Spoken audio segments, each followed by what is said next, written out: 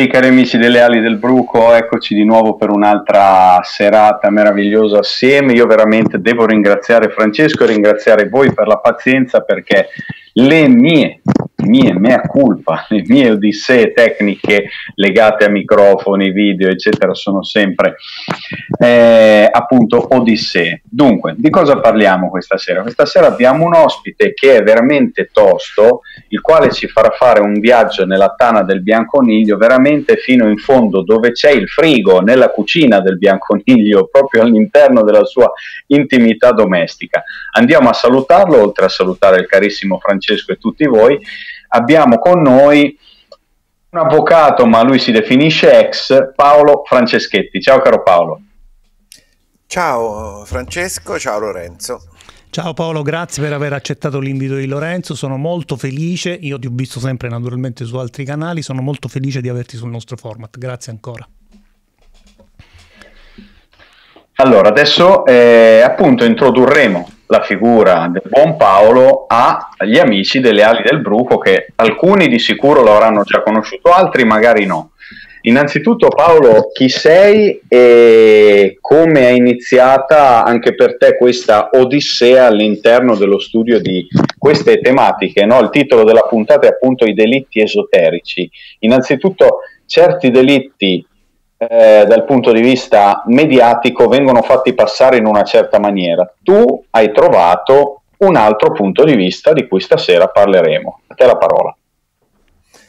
Allora, guarda, come ho cominciato a occuparmi di delitti esoterici, semplicemente facevo l'avvocato e a un certo punto mi sono occupato di alcune vicende dove però c'erano tante, troppe cose che non tornavano, eh, nel senso che in alcuni delitti tu vedevi una serie di costanti che si ripetevano in tutti i delitti eh, che eh, andavano in tv e, e dal punto di vista giudiziario questi eh, elementi non quadravano. Nel senso mm, faccio, mi, mi, spiego brevemente. Se noi prendiamo i delitti per esempio del mostro di Firenze i delitti delle bestie di Satana il delitto di Erba il delitto di Cogne il, e, e altri delitti di questo tipo hanno alcune caratteristiche comuni e il problema è che queste caratteristiche sono sempre troppo anomale, cioè manca sempre l'arma del delitto che non si trova mai. Ma manca il movente, perché quando a noi ci raccontano i moventi di questi delitti non quadrano. Eh, cioè, mh, banalmente nel delitto di Erba ti dicono è eh, perché i vicini di casa erano rumorosi e quindi questi li hanno massacrati. Vabbè. Ammesso e non concesso che una coppia impazzisca e possa uccidere cinque persone perché questi facevano troppo casino, ma perché volevano la pace domestica, poi però non vanno a incendiargli la casa che era contigua alla loro e quindi poi incendia pure la loro, succede un casino pure nella loro. Quale pace domestica possono avere? Nessuna. Eh, oppure prendiamo so, il delitto di mh, mm, Chiara Poggi. Nel delitto di Chiara Poggi si manca l'arma del delitto, tutta una serie di cose che coincidono con altri e poi il movente no, non sta in piedi perché dice questo era geloso, ma non è vero che era geloso perché c'erano le loro chat, quello che si scambiavano, non c'è traccia di gelosia in, uh, nel, in Raffaele, Solle, sì, Raffaele Solleccio, scusate, in, um, come si chiama il tizio adesso non mi ricordo, comunque sì, eh, eh, Stasi, Alberto sì, Stasi. Alberto Stasi, vero. Ecco, e, no, non c'era traccia di gelosia. Inoltre, uno geloso ma va dalla ragazza e la massacra in quel modo e fa quel casino. Cioè, se la gelosia fosse un movente, dovremmo avere eh, la metà della popolazione italiana sterminata, insomma, no? Ehm, le, bestie di Satana vengono uccisi i primi due ragazzi e il movente sarebbe che eh, vengono uccisi perché gli si vuole prendere i soldi di un'assicurazione che eh, Chiara Marino, che era la prima vittima eh, delle bestie di Satana, mh, aveva intascato. Ma se tu ammazzi la vittima, come fai a prendere i soldi? I 100, 100 e passa mila euro erano, mi pare, dell'assicurazione dell'incidente. Non, non, ce l'hai semplicemente perché non sei un parente, quindi non eredi di nulla, sei un amico. Insomma, i moventi non quadrano mai. Ma l'altra caratteristica che troviamo in uh, tutti i delitti più importanti è che se uh, vengono arrestati i colpevoli, vengono arrestati solo per ammissione di alcuni eh, pentiti diciamo, all'interno dell'organizzazione. Cioè il mostro di Firenze è una vicenda in cui ci sono vari omicidi che tiene in scacco la polizia italiana, eh, fondano addirittura un corpo speciale solo dedicato alla ricerca dei colpevoli del mostro di Firenze, con la collaborazione dell'FBI, dei servizi segreti e tutto, ma non trovano uno straccio di prova fino a che non confessano dei soggetti che sono poi assolutamente inattendibili. La stessa cosa nelle bestie di Satana.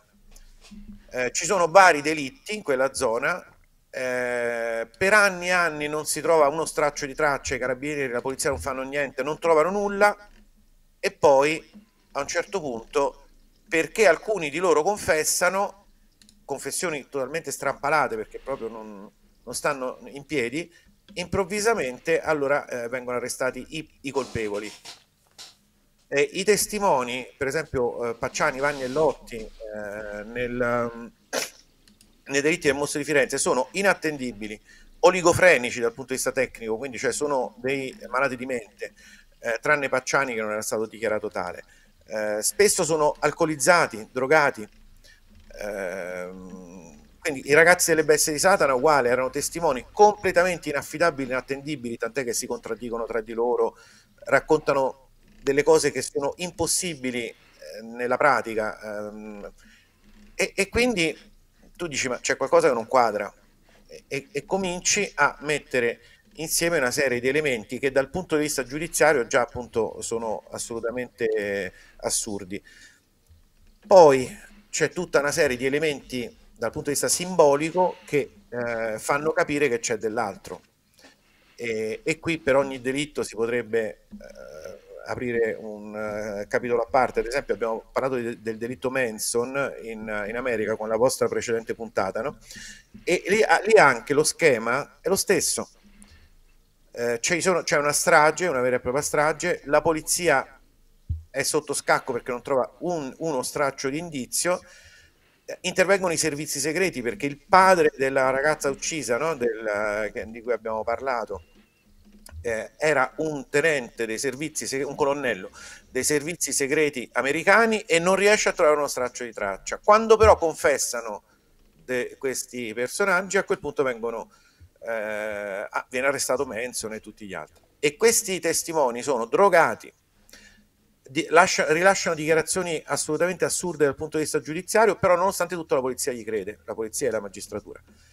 Insomma, da lì ho approfondito, approfondito, approfondito e ho capito che, eh, cioè, come stavano le cose su alcuni delitti, non tutti chiaramente, però eh, c'è questa costante che sono delitti di, eh, dei cosiddetti colletti bianchi e poi vengono attribuiti a, a dei capri espiatori che sono normalmente dei soggetti ai margini della società.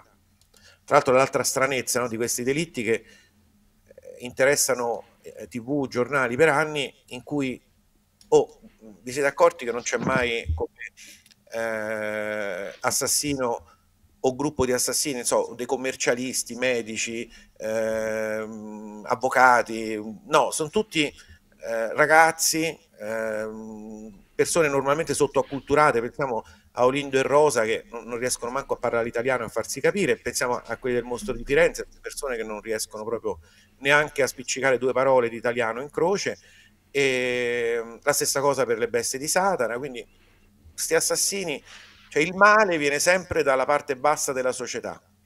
O eh, mai un politico, no? un, un, personaggio di un certo calibro. Quando però uno va a approfondire, eh, a voglia se la politica c'è dietro a questi delitti. Sì. Quindi andando a scovare le parentele, per esempio, delle vittime oppure eh, altre circostanze eh, ci fanno capire che c'è dell'altro, insomma. Quindi ecco, ci, stai lasciando, ci stai lasciando intuire che diciamo, quello che viene presentato al grande pubblico attraverso i media è solo il primo livello, un livello che serve diciamo, a coprire ben altro. Sì, addirittura in certi casi non è proprio un primo livello, nel senso che questi non c'entrano proprio niente. Ah, okay. A Erba, Vabbè, sono stati usati, diciamo. A, a Erba, eh, Olindo e Rosa, ci sono proprio, addirittura sono state pubblicate, io ho le registrazioni del momento in cui Olindo e Rosa si incontrano e mh, li fanno incontrare dopo l'arresto e Olindo dice a Rosa, Rosa confessiamo e lei dice Olindo ma che dobbiamo confessare che non abbiamo fatto nulla e lui gli dice non ti preoccupare tanto te lo dicono loro cosa devi dire è più chiaro di così cioè, mi sembra che non ci sia proprio dubbio no? su, su, quello che è successo ma poi ci sono altri pezzi de, proprio eh, registrazioni verbali che dimostrano chiaramente la volontà accanita di alcuni inquirenti, non tutti chiaramente, di voler individuare loro come colpevoli che però non lo sono. Ad esempio, quando Cristian Frigerio, il ehm, superstite di questa strage, eh, si risveglia dall'ospedale, eh, dice io ho visto un uomo alto con la carnagione olivastra che mi ha aggredito. Eh, anzi no, scusate, questo lo, lo dirà dopo. Appena si sveglia non riusciva a parlare perché gli avevano mh, fatto un taglio proprio alla giugulare quindi non risponde. Eh, il, um, l'ufficiale dei carabinieri che lo interroga dice: Signor Frigerio, purtroppo glielo dobbiamo chiedere. Lei ha visto Olindo Romano? E lui faceva cenno di no. Ma se avesse visto Olindo Romano, e, e, questo no poi era verbalizzato, ma era verbalizzato diciamo, no, come segno della testa perché non riusciva a parlare. No? Quindi gli, gli, dicono se avesse visto l'Indo Romano lo avrebbe riconosciuto? Cioè che domanda è? è? È come dire scusa ma se tu avessi visto il Papa lo avresti riconosciuto? Certo se era il Papa lo riconoscevo.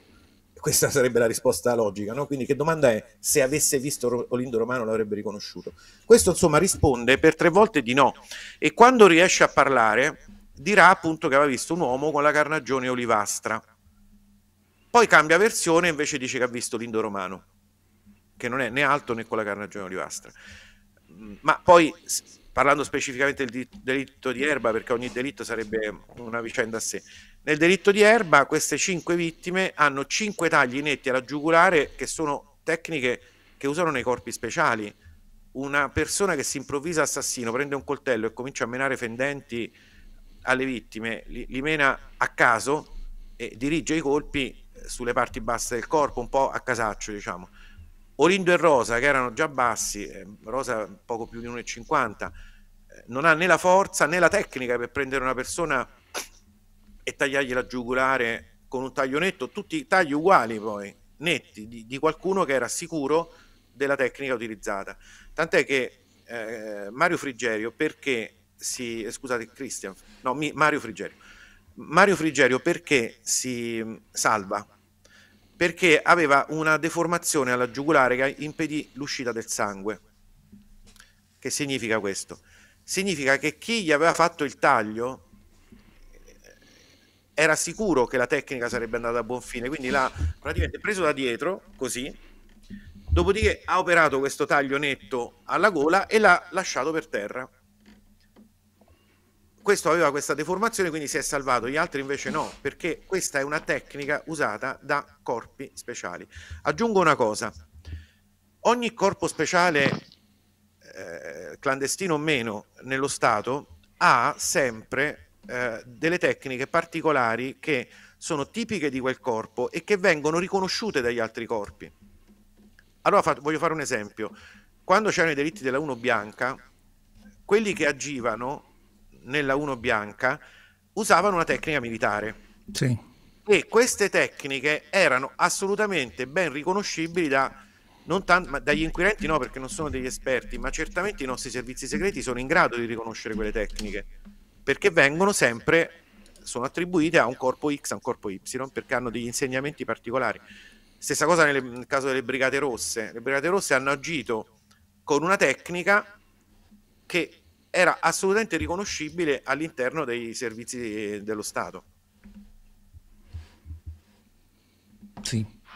Ma allora Paolo, visto che siamo in argomento, eh, visto che io volevo partire da un altro punto, ma ci arriveremo, visto che siamo nel bel mezzo, diciamo, dei dettagli della strage di Erba, ora io ti chiedo perché da più settimane, dopo tanti anni ora, su certi canali mainstream, fanno questi programmi dove c'è questo dibattito, questo botta e risposta, dove non dicono nulla, assolutamente nulla di concreto, continuano a eh, far risentire Frigerio e continuano, tra virgolette, a influenzare chi guarda sul fatto appunto dell'innocenza due condannati. Cioè, come, come funziona questa, questo modus operandi dopo tanti anni? Ora confessano, dicono cosa è successo, che è stato un errore, normalizzano l'errore. Cosa, cosa, cosa vuol dire questo?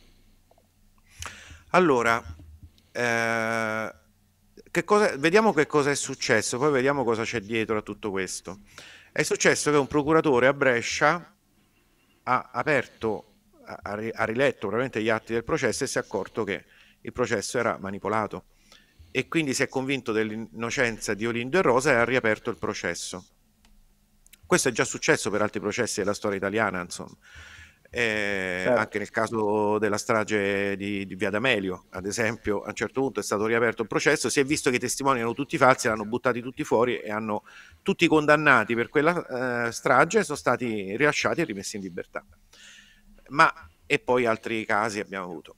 Allora, che cosa succede? Che ogni, cioè non tutta la magistratura e il giornalismo è corrotto. Talvolta può capitare che un singolo eh, magistrato eh, sia convinto di quello che fa e quindi parte a fare quello che deve fare, dovrebbe fare un magistrato. Il problema qual è? Il problema è che eh, non è, è, per un pubblico ministero poi c'è un collegio giudicante, poi c'è una corte di Cassazione, ci sono vari step e ci sono varie forze che vogliono impedire la, um, l'uscita della verità. Però è anche vero che per tanti anni siamo vissuti in un periodo storico in cui chiunque voleva far emergere la verità su questi casi proprio non lo facevano andare avanti, lo trasferivano immediatamente oppure lo facevano fuori. Eh, il modo migliore comunque per fermare un magistrato lo trasferivano quindi a quel punto non aveva più la competenza e doveva cessare il suo incarico. Oppure anche un giornalista scomodo, prima di ucciderlo, di minacciarlo, lo si trasferisce, magari in un posto in cui lo si paga pure di più. E quello manco si accorge che lo trasferiscono per non indagare e fare servizi giornalistici corretti sulla cosa di cui si sta occupando. Allora, eh, siamo però in un periodo storico in cui certe realtà cominciano ad emergere.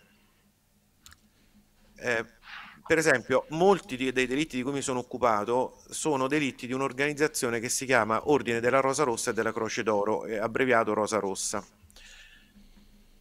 Beh, eh, se per anni chi si occupava della Rosa Rossa veniva deriso, preso per il culo, me compreso, che dicevano che mi inventavo le cose, adesso eh, se ne cominciano a occupare in modo ufficiale anche le istituzioni, perché perché nell'ultima commissione mh, parlamentare antimafia eh, si è parlato della Rosa Rossa, quindi ci sono state testimonianze di Angelo Izzo e altre proprio sul, sulla Rosa Rossa. In commissione eh, c'era Giuliano Mignini, il pubblico ministero che oggi è in pensione e quindi eh, faceva parte di questa commissione parlamentare, che si è occupato dei diritti del mostro di Firenze. E lui, che esiste la Rosa Rossa, lo sa bene. Io e Giuliano Mignini abbiamo fatto anche trasmissioni insieme, abbiamo fatto anche eventi come convegni, insomma siamo in un ottimo rapporto, ci sentiamo spesso, ci confrontiamo reciprocamente, quindi lui sa bene qual è la verità. Il problema è che lui non l'ha potuta far emergere perché la Rosa Rossa poi è un'organizzazione molto diffusa, non puoi diciamo eh, andare a colpire l'intera organizzazione, anche perché poi non tutti sono neanche responsabili di questi delitti e poi è un po' come dire la mafia, è una, un termine generico che non significa niente, quindi poi devi individuare i singoli mafiosi, al di là che siano appartenenti o no alla mafia, dal punto di vista giudiziario ce ne potremmo anche fregare di quale sia l'organizzazione sopra, ma dobbiamo individuare i veri responsabili. No? Quindi se ne comincia a parlare a livello istituzionale e eh, infatti se ne è parlato anche in tv. Sulla 7 è uscita Uh, la testimonianza di uno dei superstiti di queste stragi che, collaterali relative al mostro di Firenze, Luciano Malatesta, in cui eh, hanno detto molte cose, molto più di quelle che io mi aspettavo in una televisione mainstream, quindi hanno parlato proprio di, addirittura del coinvolgimento in questi delitti del procuratore capo della Repubblica di allora che era Pierluigi Vigna, l'hanno accennato ma in modo molto chiaro, insomma. Insomma, si, ripeto, si comincia a parlare di questo, ma perché? Perché evidentemente l'organizzazione è un po' indebolita rispetto al passato e ci sono altre organizzazioni più potenti che stanno prendendo piede e eh, soppianteranno eh, l'impianto, diciamo così, delle società segrete, chiamiamolo così, eh, precedente. Sono società segrete queste di matrice anche orientale, che sono più potenti delle nostre. E, e quindi necessariamente c'è un una sorta di cambio al vertice che piano piano vedremo, e con la sostituzione di vecchie organizzazioni a nuove organizzazioni. Ovviamente queste organizzazioni di cosa si avvalgono? Di, tu, di tutto quello che, di cui possono avvalersi, compresi i magistrati in buona fede che vogliono indagare, compresi i giornalisti che vogliono indagare in buona fede, compreso me, perché io mi sono sempre reso conto quando ho fatto per esempio il nome di Vigna come mostro di Firenze che ero stato strumentalizzato da alcuni, insomma, era palese che diciamo, c'era una strumentalizzazione e io dovevo far uscire il suo nome perché per una serie di motivi di tipo politico. Però a me non mi interessa chi mi strumentalizza, mi interessa se quello che dico è vero. Quindi comunque sono andato avanti lo stesso. Avevo capito che c'era qualcuno che era interessato a che io andassi avanti, altrimenti non mi avrebbero fatto andare avanti. Non so se è chiaro questo. Chiaro, chiaro, detto, chiaro, insomma, chiaro. No? Eh. Sì. Eh, in, ora, ovviamente, per un magistrato che si occupa di questo c'è un sacco di forze contrarie perché non è che c'è un cambio al vertice eh, immediato di tutto, e quindi è ovvio che si fa resistenza perché venga fuori la verità su Erba e su altri casi. C'è una forte resistenza, però, nonostante questo, la verità sta emergendo. Sì. Ad Senti, esempio, nel mostro di Firenze, io. Vai, Guarda, vai, vai. No, no, no, cosa, sì, sì, vai, vai, vai, tranquillo. Nel mostro di Firenze io avevo fatto il nome di Pierluigi Vigna e Mario Spezzi, che erano i due principali responsabili di questi delitti insieme ad altri, però erano due nomi più eclatanti, quindi io mi sono preoccupato di far capire alla gente che loro, queste due persone erano coinvolte. Dopodiché adesso tante ricerche e tanti studi eh, portati avanti da due gruppi, in particolare Facebook, di giovani, sono però eh, sono molto in gamba, hanno tirato fuori una quantità di prove sulla eh, sul coinvolgimento di Pierluigi Vigna in questi delitti che è, è, ormai è impossibile per chiunque veramente voglia approfondire la vicenda negare la verità.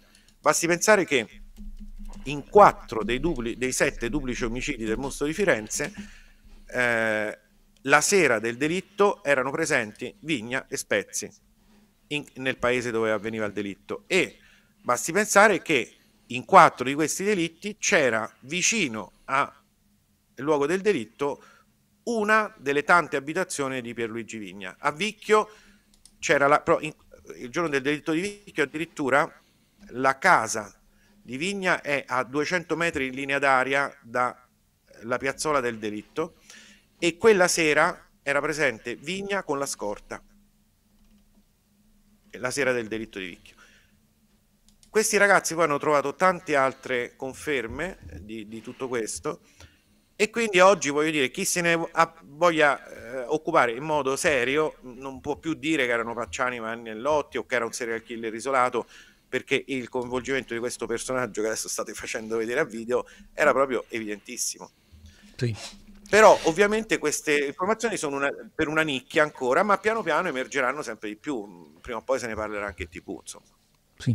Senti, c'è stato questo passaggio che mi ha molto incuriosito, in cui facevi riferimento alla sostituzione, al cambio a vertice di alcune associazioni logge, diciamo, segrete, eh, con uh, altre di origine, di matrice orientale o medio orientale, orientale ho capito bene. Orientale, orientale. orientale. E, ehm, ci puoi in qualche maniera delucidare meglio su questa cosa? Allora, guarda, semplifichiamo il discorso. Eh, sì. La politica e i principali eventi della vita anche economica, sociale di un paese, di qualsiasi paese, ufficialmente viene fatta a livello politico, ma in realtà viene fatta da fratellanze esoteriche che stanno dietro alla politica e sono ben più potenti e che muovono le fila della politica. Sono eh, gruppi che sono sia fratellanze esoteriche sia interessi, gruppi economici che hanno un potere economico pazzesco. Ora, chi non, non, sa che cosa significa fratellanza esoterica non importa, ma immaginatevi i gruppi di potere bancario, per esempio, già quelli sono sufficienti per muovere la politica e sono loro dietro alla politica, no? E, e dietro anche i servizi segreti. perché spesso questi servizi segreti sono anche finanziati in qualche modo da, eh, dai gruppi bancari o altro. Vi, vi potrei dire banalmente, no? la, ehm, la Fiat, okay. che è un, un, potentato economico apparentemente, però anche l'Iveco. E l'Iveco è anche la fabbrica di carri armati, armi, eccetera, che vanno all'esercito italiano e anche poi ai servizi segreti. Chi lavora all'Iveco ha sempre il nulla osta dei servizi e appartiene sempre ai servizi, ma per forza non potrebbe essere diversamente, no? Mm, no, no vabbè, perché immagino che si capisca immediatamente il perché. Quindi c'è un legame fortissimo tra economia, finanza e politica e servizi segreti. Bene, adesso che sta arrivando economicamente la Cina, è ovvio che la, le forze economiche della Cina premono sulla nostra politica per quello che possono, per adesso in maniera quasi invisibile, ma dal punto di vista economico molto visibile dal momento che la Pirelli è di proprietà della Cina, molta par- buona parte del Chianti è di proprietà della Cina, la Banca d'Italia è stata acquistata per una piccola parte, certo, ma eh, dalla banca cinese, quindi di fatto, eh, no, è il San Paolo in realtà, non la Banca d'Italia, però le poste italiane per una piccola parte per, sono state acquistate dalla Cina, quindi stanno entrando dappertutto, è ovvio che muovono anche le loro società segrete, solo che le società segrete cinesi sono più potenti delle nostre. Sì, allora diciamo che il, il motore pulsante di tutta questa roba è sempre l'economia. Quindi la... L'economia è la società come controllo sociale, sì. insomma. Ok, chiarissimo. Va bene, allora, Lorenzo. Eh, infatti volevo arrivare eh, a questo punto piano piano cercando di spiegare eh, il perché dei motivi di determinati delitti partendo appunto dal delitto di Manson, perché analizzandolo come facemmo nella puntata di, di Saravero arrivavamo a capire determinate cose. Innanzitutto i punti che hai nominato poco fa come la confessione di qualcuno per far sì che la polizia smetta di brancolare nel buio, in quel caso Susan Atkins. E poi lì, diciamo, eh, l'omicidio di Sharon Tate to un qualche cosa eh, a il compagno, no? Roman Polanski, eh, che era in giro a fare per l'Europa. Ecco, quindi cosa successe? Perché quel delitto? Ecco, e poi soprattutto chi? Allora, chi, chi ha agito materialmente in quel delitto non lo potremmo sapere, però il perché sì, perché quel delitto era collegato al film che in quel momento Roman Polanski stava eh, pubblicizzando in Europa. Mi pare fosse in Inghilterra in quel momento e il film era Rosemary's Baby. Eh, non a caso eh, le, una delle vittime della strage di Cielo Drive, che è stata attribuita a Manson, si chiamava Rosemary la Bianca. E, e, non è proprio un caso, no? Che mentre tu, Roman Polanski, stai in Europa a pubblicizzare il uh, tuo film, Rosemary's Baby, to ammazzano la tua compagna Sharon Tate e ammazzano una che si chiama Rosemary. In più, eh, Sharon Tate non è neanche un nome scelto a caso dal punto di vista simbolico, eh, richiama il verso 49, mi pare, del Cantico dei Cantici. Io sono la rosa di Sharon, il giglio delle valli. E rosa e giglio sono i due simboli della rosa rossa. E, e, poi c'è tutta un'altra simbologia che abbiamo, ne abbiamo trattato in quella trasmissione che è stata molto interessante e costruita molto bene. E adesso non ci dilunghiamo insomma. cioè comunque quando uno osserva questi delitti dal punto di vista simbolico trova tutta una serie di simboli ricorrenti. La rosa in particolare ricorre in tutti i delitti dal mostro di Firenze erba cogne e perfino nelle bestie di Satana. Eh, ma anche nel delitto moro cioè, eh, ehm, guardate, la prima che mi parlò della Rosa Rossa fu eh, Gabriella Carlizzi, che era una giornalista investigativa che adesso è morta. E lei mi disse, guarda che dietro al mostro di Firenze, dietro al delitto Moro, c'è la, la, Rosa Rossa, guarda i simboli, ma io all'epoca non li sapevo guardare, quindi fu lei che mi fece notare, eh, guarda, allora, la strage si apre, de, de, del caso Moro si apre in via Mario Fani, e Mario Fani era il fondatore del Circolo di Santa Rosa di Viterbo. Eh, si chiude la, la, la, vicenda Moro in via ehm, Gaetani ma la, questo quello che non viene detto è che al numero 9 di Via Gaetani, dove la rosa, sì, dove la Renault rossa, la RR, un altro simbolo sì. della rosa rossa, viene parcheggiata, c'è il conservatorio di Santa Caterina della Rosa. Eh, quindi si apre con una rosa e si chiude con una rosa. E poi ci sono tutta un'altra serie di, eh, di simbolismi che vengono eh, diciamo, analizzando tutta la vicenda. A Erba, cioè, io quando eh, capii questa cosa lì per lì non dico ma dov'è sta rosa nel delitto scusate se mi viene da ridere perché fa, fa, un po' ridere effettivamente che la rosa invece era evidente nel nome della, di, di Rosa Bazzi no? E eh, tra l'altro Rosa Bazzi in romano quindi Rosa Romano diventa Rosa R eh, eh quindi, eh, che è l'altro simbolo della rosa rossa perché è una doppia R no? Eh, rosa Romano tra l'altro poi ho scoperto che non si chiama Rosa, si chiama Angela Romano. Infatti i primi due giorni i giornali uscirono dicendo Angela Romano eh, è sospettata. E poi dopo 3-4 giorni cominciano a chiamarla Rosa e adesso tutti la chiamano Rosa, ma in realtà si chiama Angela Rosa Bazzi. Rosa è il secondo nome, non lo usava nessuno. Chiaro, chiaro. Ti chiedo, Fra, di cercare un'immagine, sempre per tornare al caso Manson e per far vedere a chi ancora magari non lo sapesse questo collegamento, ti chiedo di cercare Rosemary's Baby, Kate Middleton, perché c'è un riferimento che trattammo anche nella vecchia puntata che è assolutamente incredibile. In quel film cosa succede? Che Mia Farrow, un'attrice famosa anche per aver lavorato con Woody Allen, interpreta questa Rosemary che eh, per via di un qualcosa che va a combinare il suo compagno, eh, si trova a essere la madre a portare in grembo il figlio dell'anticristo. Ora, guardate l'immagine con un mazzo di rose, appunto dal compagno. Quello è il momento in cui certi dolori no, legati al bambino in grembo le passano proprio perché lei voleva cambiare medico.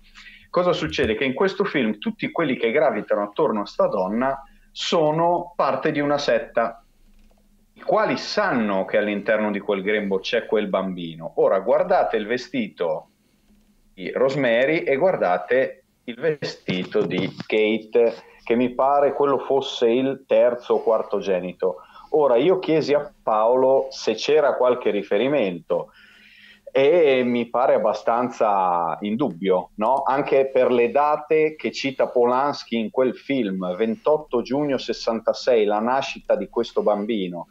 Eh, chi, chissà cosa, cosa volevano dire. Guarda, talvolta non volevano dire nulla di eh, consapevole, cioè quando c'è l'esoterismo, quindi c'è della magia sostanzialmente dietro a questi delitti ad alti livelli, queste coincidenze si creano in automatico. Quindi non è che Roman Polanski ha messo quel vestito e quell'immagine pensando che poi qualche anno dopo Kate Middleton avrebbe mh, mm, eh, messo lo stesso vestito, né forse Kate Middleton si è accorta di aver messo quel vestito. Sono ehm, diciamo a più, a più alti livelli quelli che praticano questi riti magici mhmm, dietro a queste vicende che poi ehm, in automatico creano queste mh, mhmm, coincidenze, perché con la magia succede così. La magia è fondamentalmente sincronicità, eh, no, non è sincronicità, è, alt- è altro, però si manifesta con delle sincronicità molto evidenti, che talvolta non sono volute. Guarda, faccio un esempio no? per, di sincronicità particolari. Allora, nella vicenda delle bestie di Satana c'è molto esoterismo, è tutta una vicenda esoterica. Eh, ora, mh, mm, eh, quindi le, le, la, le, bestie di Satana si chiamano così perché? Perché richiamano l'Apocalisse, la bestia 666 che eh, viene dal mare. Allora, se noi andiamo a, a vedere, c'è nel, nel, sempre nell'Apocalisse, c'è poi l'arcangelo Michele che sconfiggerà eh, il demonio. Allora, chi è che i giornali raccontano ha ehm, aiutato a identificare i colpevoli, quindi viene presentato come l'eroe senza il quale non sarebbe mai stato eh, mai, mai, stata sgominata la setta, Michele Tollis, che è il padre della prima vittima, che si chiama Fabio Tollis. Ora, Michele Tollis richiama sia l'arcangelo Michele sia eh, Agnus Dei qui Tollis peccata mundi. Eh, dopodiché il comandante dei carabinieri della stazione di Somma Lombardo, dove sono stati avvenuti i delitti, che ha partecipato all'indagine, è stato premiato, si chiama Michelangelo, quindi torna, l'ar- quindi torna l'arcangelo Michele, per giunta Michelangelo Segreto di cognome. Eh, io qua mi ricordo, vabbè, posso raccontare un aneddoto, insomma, eh, una volta andai alla caserma di Somma Lombardo. Dai, dai, per... raccontacelo, raccontacelo. Ok, andai alla caserma di Somma Lombardo per chiedere se mi accompagnavano alla buca che, eh, dove erano stati sepolti i ragazzi, eh, le vittime, perché io stavo facendo le indagini difensive per riaprire il processo, eh, perché ero legale, di Paolo Leone e di Nicola Sapone. Quindi an- non sapevo chi, chi, avrei trovato come comandante della stazione, mi siedo e dico, senta, vorrei essere portato, o che mi indicaste, insomma, il posto. Lui dice, va bene, glielo indichiamo, ce la portiamo noi domani mattina, se viene qua alle 9 e disse: Ma come mai mm, fa, fa, questa revisione del processo? E io dissi: Guardi, le prove erano tutte false. La domanda non è perché uno riapre il processo, la domanda è perché non l'hanno riaperto fino adesso. Perché è un processo basato su prove false. Dopodiché guardo il nome dico Michelangelo Segreto, ma dico ma lei è quello che ha fatto le indagini all'epoca? Mi ha detto eh sì. Ora Intanto una persona che ha fatto le indagini e che si, gli vengo a dire in faccia che era tutto falso si dovrebbe arrabbiare, no? invece non ha battuto ciglio.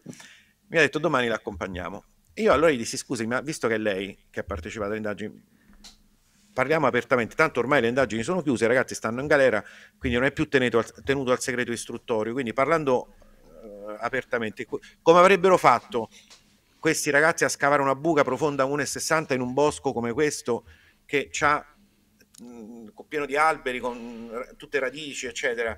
Lui mi disse, avvocato, io non ne voglio parlare, questa vicenda me la voglio togliere dalla mente, l'accompagnerò domani sul luogo del delitto, ma non voglio dire nulla perché eh, questa vicenda me la voglio dimenticare il più possibile. Non è un atteggiamento di un... Di, di, di, è l'atteggiamento di un uomo inquieto. inquieto è Michelangelo Segreto, quindi fu ligio anche al suo cognome, tenne il segreto. Incredibile, sì. Ecco, Beh, queste coincidenze non, non so, sono eh. create a tavolino, non, non, sono create razionalmente da persone che diciamo mettiamo Michelangelo Segreto a dirigere l'indagine, poi facciamo scoprire eh, eh, da Michele Tollis questa cosa e quest'altra. No, Qui c'è una regia esoterica dall'alto. Eh, e eh, persone... eh, sì, infatti è proprio questo ti volevo chiedere.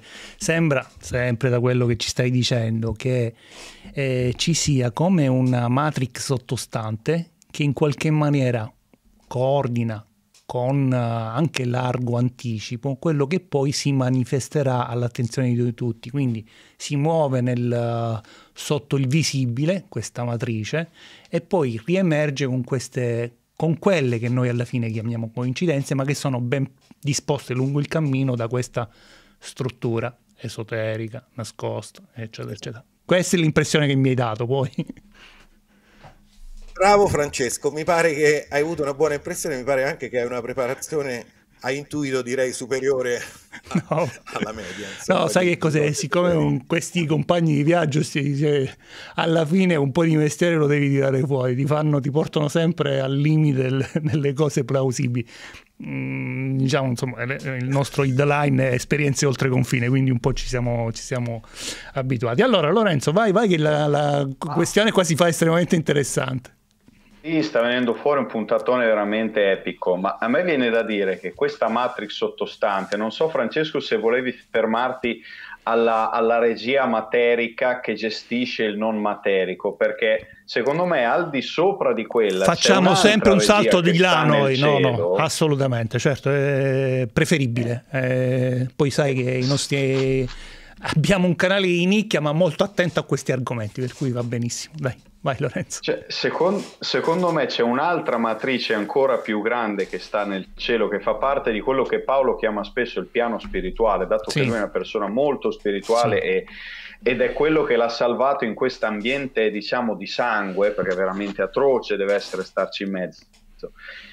È, è, ciò che sta su, secondo me, che gestisce queste coincidenze, anche per dare una sorta di speranza. Quindi che ve- vedete che dove c'è il sangue ci sta anche Michele, come dire, l'Apocalisse non sbaglia, cioè va bene, vivrete la tribolazione, ma poi arriverà quello che deve arrivare. Quindi eh, è come se ci fosse un qualcuno dal cielo che mette le mani sulle spalle di chi vive in questa sofferenza, in questo piano materiale, e dica sveglia, osservate queste cose, svegliatevi senza avere paura. Io penso che al piano superiore ancora sia così, poi magari Paolo mi, mi correggerà.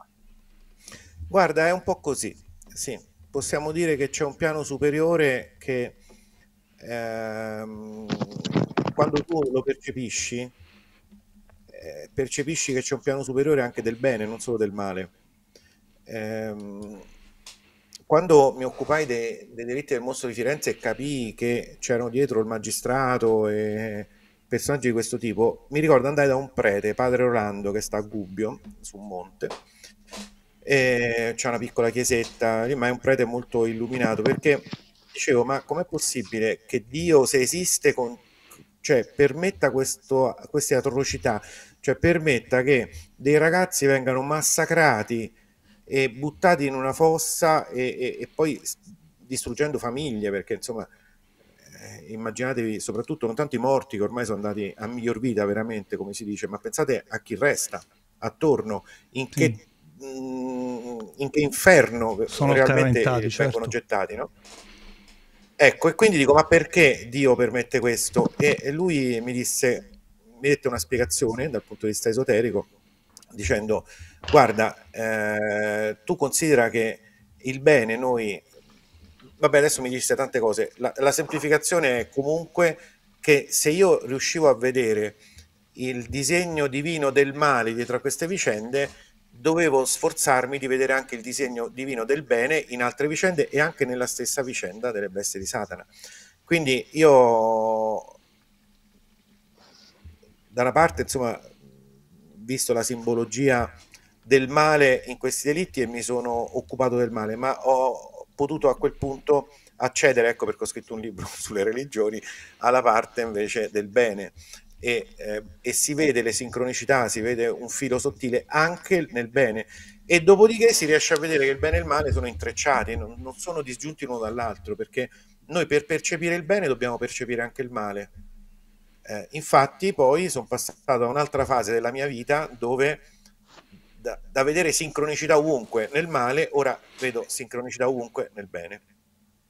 Eh, non che non vedo più quelle del male, però insomma eh, eh adesso per chi mi segue, magari anche nelle ultime puntate, la mia vita è piena di cose meravigliose. E, ti seguiamo, ti seguiamo. Poi, eh, sono un po' il contraltare di questa robaccia che mi arrivava. Sì, sì, tra l'altro eh, ho sentito adesso recentemente una tua ultima puntata su argomenti che noi trattiamo sempre e che è stata strepitosa, però non ne parliamo adesso, eh, poi facciamo un inciso di questa cosa.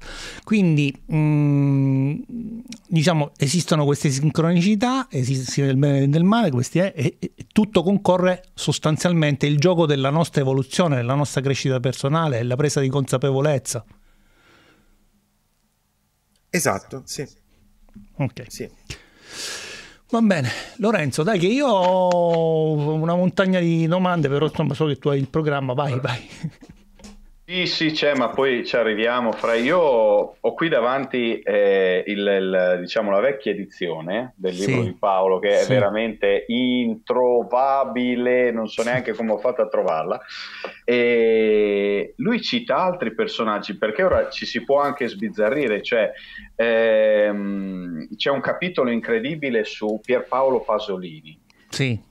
Eh, mamma mia, che personaggio anche Pasolini. Pasolini praticamente eh, disse in un'intervista del 14 novembre 74 io so i nomi dei responsabili delle stragi italiane. Un anno dopo, l'1 novembre 1975, in un'intervista con Furio Colombo per la stampa, dice siamo tutti in pericolo.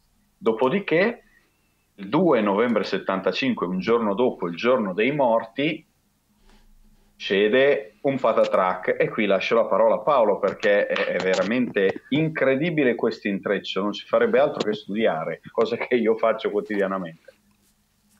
Guarda, eh, devo dire che questo articolo però non lo scrissi io ma la mia compagna Stefania, quindi eh, non mi ricordo esattamente tutto quello che ora eh, c'è su questo articolo. Certo, anche qui però c'è un simbolismo dietro al delitto Pasolini che è proprio clamoroso, eh, quindi lui viene intanto eh, ucciso a, all'idroscalo di Ostia, no? dove Ostia ricorda comunque il corpo di Cristo e quindi c'è anche qui una simbologia esoterica, ma l'idroscalo perché all'idroscalo atterrano gli aeroplani e lui stava scrivendo un libro eh, che parlava proprio del delitto Mattei. E il delitto Mattei è il, il delitto di eh, Mattei che viene, cade da una, cioè insomma l'aeroplano cade, un incidente, ma in realtà si capisce perfettamente che non è un incidente, volevano eliminare un personaggio assolutamente scomodo, no? E, e quindi qui c'è la cosiddetta legge del contrappasso esoterico che si usa in, uh, proprio nelle confraternite esoteriche. Poi se uno va a vedere la, il monumento funerario che hanno eretto lì dove è morto Pasolini, c'è proprio questo simbolo della rosa rossa, insomma.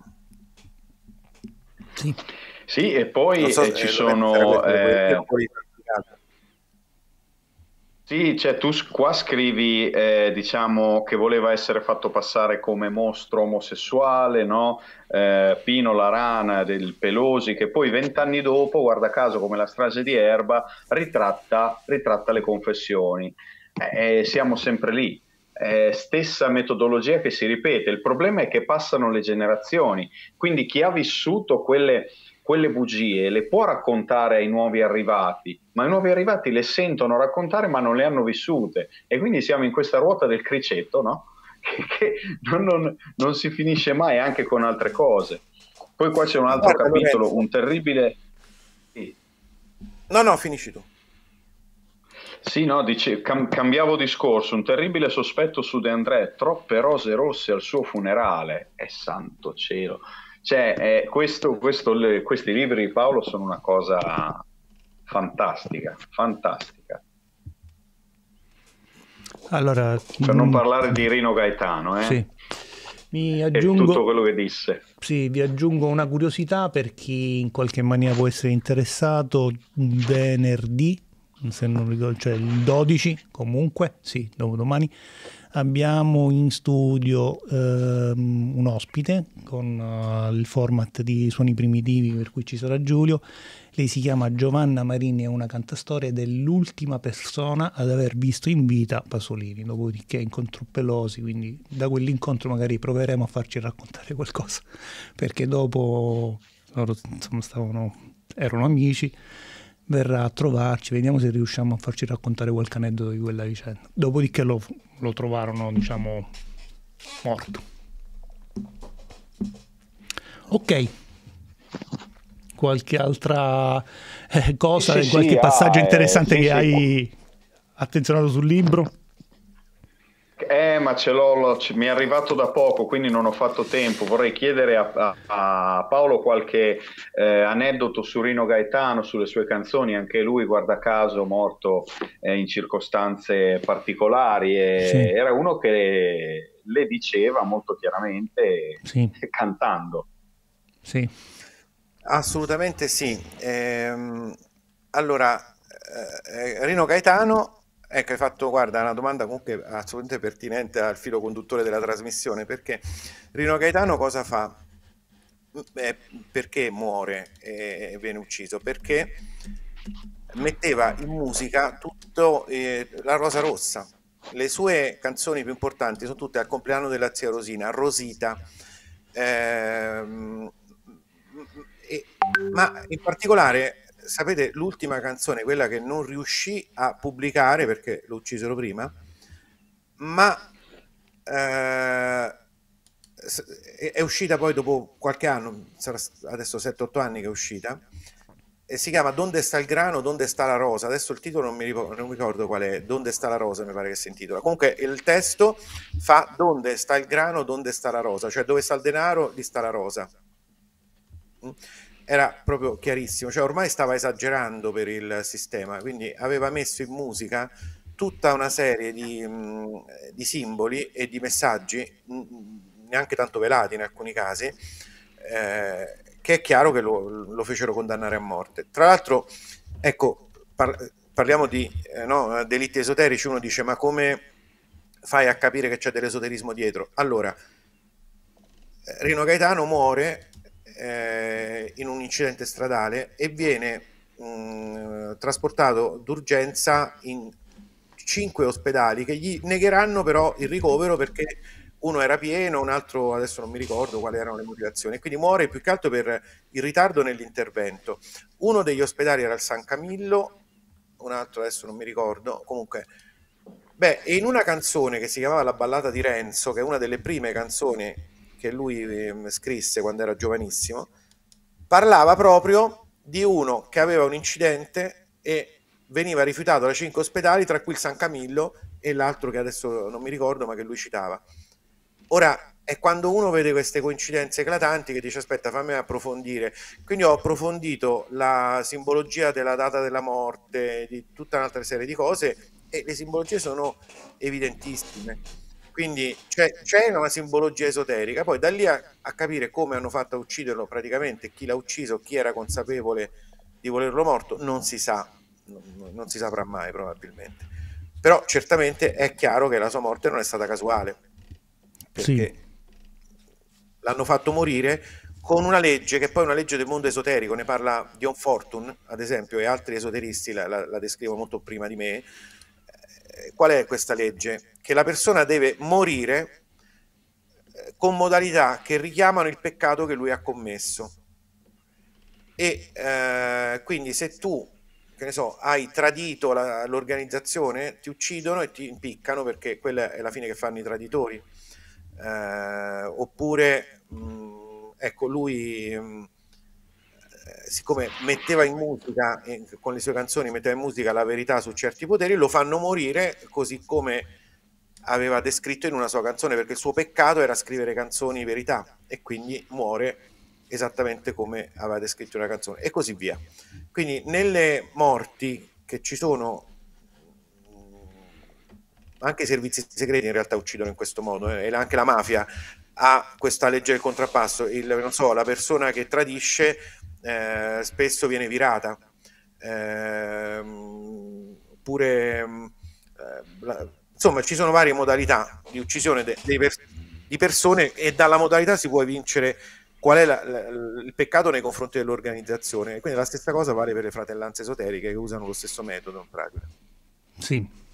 Senti, ti faccio una domanda un po' provocatoria. Ehm, non è che alla, a furia di cercare riscontri o elementi in qualche maniera possono riportare, è caduto Lorenzo, vabbè, lo ricolleghiamo, possono riportare al, a mm, gruppi o logge esoteriche, poi alla fine le si trova, nel senso che mh, mm, magari qualcosa può anche avere eh, un'attinenza, però il fatto che poi puntiamo come noi diciamo sempre, là dove va l'attenzione va l'energia. Il fatto che poi puntiamo eccessivamente l'attenzione su quei tipi di partic- particolari, alla fine li troviamo anche laddove magari una ragione non specifica non vi sia. Guarda, sì, la tua domanda è, è giusta, è il problema che, in cui incappa poi chi comincio a vedere i simboli, che diventa quasi paranoico, no? Eh, c'era un periodo effettivamente che io ogni volta che vedevo una rosa rossa, cioè sbloccavo di capoccia, se arrivavo per la strada, sapete, i venditori, no? Dice, vuoi una rosa rossa? Cioè, già mi innervosivo. eh, no, poi mi capitavano tutte coincidenze eh, abbastanza divertenti, ma mh, mm, tipo mi fanno fare una conferenza sulle bestie di Satana in via eh, delle Rose e mi prenotano l'albergo de- per la notte all'albergo delle rose via- e ho detto no scusate questi mi vogliono fare fuori. questi mi vogliono fare fuori stasera. Però, no, però questi erano in buona fede chiaramente. Poi dopodiché mi sono abituato a queste sincronicità che fanno sì. parte del mondo dell'esoterismo. Quindi ad esempio di recente faccio conferenze convegni a una libreria che si chiama L'Alchimista di Bergamo in via Gabriele Rosa. Ma ormai ci ho fatto pace con questo sì, simbolo della rosa. Okay, okay. perché il simbolo è neutro. Siamo sì. noi che gli diamo un determinato esatto significato. Per, per, me era negativo per tanti anni della mia vita perché vivevo nell'incubo. Adesso è diventato un simbolo addirittura positivo perché è stato il simbolo di una cosa di cui mi sono occupato che mi ha fatto crescere ed evolvere spiritualmente. Quindi, sì. eh, però quel pericolo che dici tu c'è, ma infatti da avvocato uno poi sì. può anche vedere i simboli, ma non sono quelli importanti. Poi tu devi trovare sì. le prove concrete però a cosa serve il simbolismo o eh, la, la, conoscenza dell'esoterismo? Sì. Serve perché una volta che tu capisci cosa c'è dietro esotericamente, sai anche come sì. muoverti nel processo. Sì. E ti muovi in un determinato modo perché devi avere il controllo sia delle forze umane sia delle forze esoteriche. Sì. E, ehm, potrei fare anche qui magari diversi esempi di che significa avere questo controllo. Comunque, Senti, facciamo una cosa, fatto... no, no, facciamo una cosa perché ho capito che eh, cioè ormai eh, sembra, dal tuo parlare è come se tu hai trovato le chiavi per decodificare molti degli elementi che si muovono sotto, intorno a noi, li hai decodificati, per te diventano lampanti chiari. Allora, anche questa la domanda è forte, provocatoria. Che cosa si è mosso dal punto di vista esoterico in questi tre anni nella, diciamo, nel panorama eh, del, non solo della politica, del, della società, delle persone, intorno alle persone. Quali forze si sono morse per poi riuscire ad essere così perniciose e pervasive nella mente, nei comportamenti e nelle decisioni? Beh, allora io non so se ho capito la domanda, ora provo a dare una risposta, però Vabbè, abbiamo, so. abbiamo, tutti visto cosa si è mosso in questi tre anni intorno a noi dal punto di vista ordinario. C'è stata una pressione cercando di dire, condizionare al di là del, anche di quelle che sono le più basilari libertà dell'essere umano, per indurlo a certi tipi di comportamenti, poi si può essere d'accordo o meno.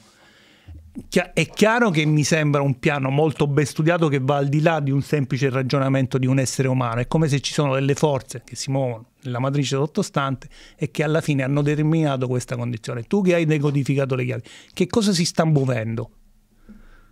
Guarda Francesco, in realtà si, sta muovendo, si stanno muovendo le stesse forze che hanno mosso l'umanità per secoli, solo il problema qual è? Che adesso viviamo, in, teoricamente vivevamo, in un'epoca in cui era possibile di più il risveglio e era possibile di più capire certe realtà. Eh, faccio un esempio, chi viveva in montagna, in un piccolo paese, cosa poteva sapere di esoterismo? Quando vedeva un fenomeno esoterico ri- rischiava di sbroccare di capoccia perché eh, eh, assistere a fenomeni esoterici talvolta è destabilizzante e può portare alla follia. Eh, oggi invece se tu vedi qualcosa eh, e ti vuoi informare, prendi internet e ti informi. Non solo, non c'è più neanche il problema di reperire libri. Quando io ero giovane c'erano le librerie esoteriche, ma non pochissime, dovevi sapere dove stavano, non è che c'era, che ne so, eh, internet, digitavi su Google Maps libreria esoterica e ti diceva la libreria più Tutto. vicina. Io manco sapevo il significato di libreria esoterica quando avevo vent'anni. Quindi i libri dove li andavi a trovare? Oggi, a parte che molti li trovi nelle librerie comuni, ma prima o poi ti ci imbatti se vuoi capire certe cose e, e li ordini su Amazon. Puoi abita pure in cima a un monte, ma comunque sì. Amazon, con tutti i difetti che ha questa multinazionale, comunque ti porta i libri anche in paesi sperduti a, a fronte di questo fenomeno, di una possibile evoluzione delle masse, le forze che Fausto Carotenuto chiamerebbe antievolutive eh, o, o, o, Steiner le chiamerebbe le forze arimaniche, premono maggiormente sulle masse, quindi devono fare qualcosa di molto eclatante. Poi eclatante agli occhi nostri, e eh, bada bene Francesco, ma sì. io ho tutti i miei familiari vaccinati che non, per loro è tutto normale quello che è successo, queste, um, il licenziamento di quelli non vaccinati è per loro assolutamente normale perché eh, sono persone pericolose, insomma eh, st- stiamo parlando di un gran numero di persone che può aprire gli occhi, ma è sempre un numero minimo rispetto alla massa, no? E comunque so- queste forze devono premere più forte, è il loro gioco, è, la loro, sì. diciamo, è quello per cui sono nate, devono fare, si chiamano forze dell'ostacolo, perché sono nate per darci ostacoli. Quindi, sì. e, e, siccome ci, l'umanità stava crescendo, stava evolvendo, aveva più possibilità, e quindi da altre parti te le, te le tarpano queste possibilità. Sì, chiaro. Lorenzo, ci sei? Ci senti? Sì, sì, ci sono, ci sono, eh. sento tutto. E, ehm, mh, volevo chiedere a Paolo, cioè, quello che sento io dal punto di vista del male funzionale al bene è che queste cose così eclatanti fanno parte sempre di quello scossone sulle spalle che ti dice sveglia. Quindi sì, sono forze dell'ostacolo, ma è poi un ostacolo che si fa superare. Cioè Dio non ti darà mai un qualcosa di più forte di te, siamo sempre lì. E la mia visione che mi tiene saldo in questi, in questi anni è, è e rimane quella.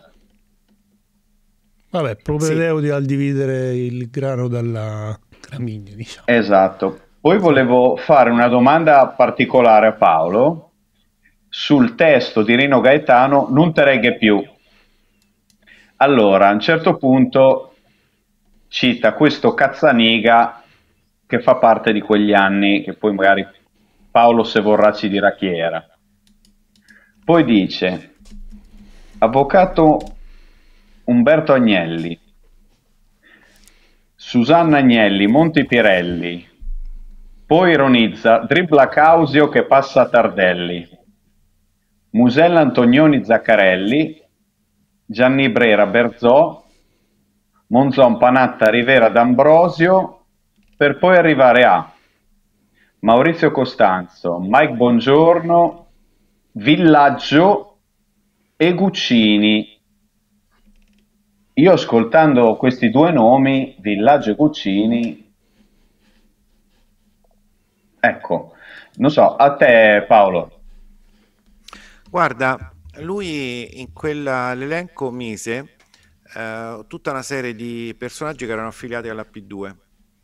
E, ehm, tra l'altro, infatti, parecchi nomi, ma adesso dopo anni non mi ricordo quali, chiaramente, gli vennero mh, bloccati, se no questi non li devi mettere le, mi ricordo che c'era il nome di Moro tra questi e c'erano altri. E questi no, dissero no, tu questi non li devi mettere perché erano, sarebbero stati troppo evidenti e sarebbero venuti poi in evidenza negli anni successivi. Gli hanno lasciato questi qua che poi noi sappiamo che stanno nella, nella canzone. E, ehm, era una provocazione comunque, insomma, chiaramente.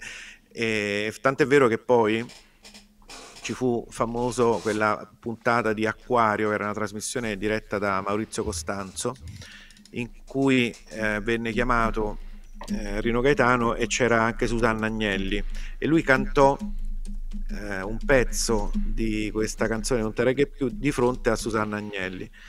Ma lì in quella trasmissione eh, Costanzo gli lancia delle minacce chiarissime. Eh, perché che cosa fa? a un certo punto uh, c'era una, un acquario appunto lì accanto a Maurizio Costanzo e lui dice ah no scusate c'è un pesce che si è suicidato ma deve essere una cosa tra pesci quella era una minaccia chiara nel linguaggio massonico così come vedete ecco tu stai facendo andare l'immagine no? lui entra e c'è uno, uno a destra e uno a sinistra Susanna sulla sinistra e lui a destra questo, a quanto mi ha detto il mio amico Carpe Oro, che è un massone, eh, questo rappresenta il tribunale massonico. E infatti mi ricordo che Carpe Oro mi disse se l'avessi vista all'epoca questa trasmissione l'avrei capito da prima che lo, lo ammazzavano, perché questa trasmissione è un messaggio chiarissimo. Inoltre, hmm. una persona, diciamo, che conosce bene questo ambiente, perché è, purtroppo viene da questo ambiente, di queste famiglie, mi ha detto anche Susanna Agnelli l'ha la, non l'ha minacciato di morte, l'ha condannato a morte. Perché Susanna eh, parla in modo molto dolce, molto, sembra anche molto equilibrato.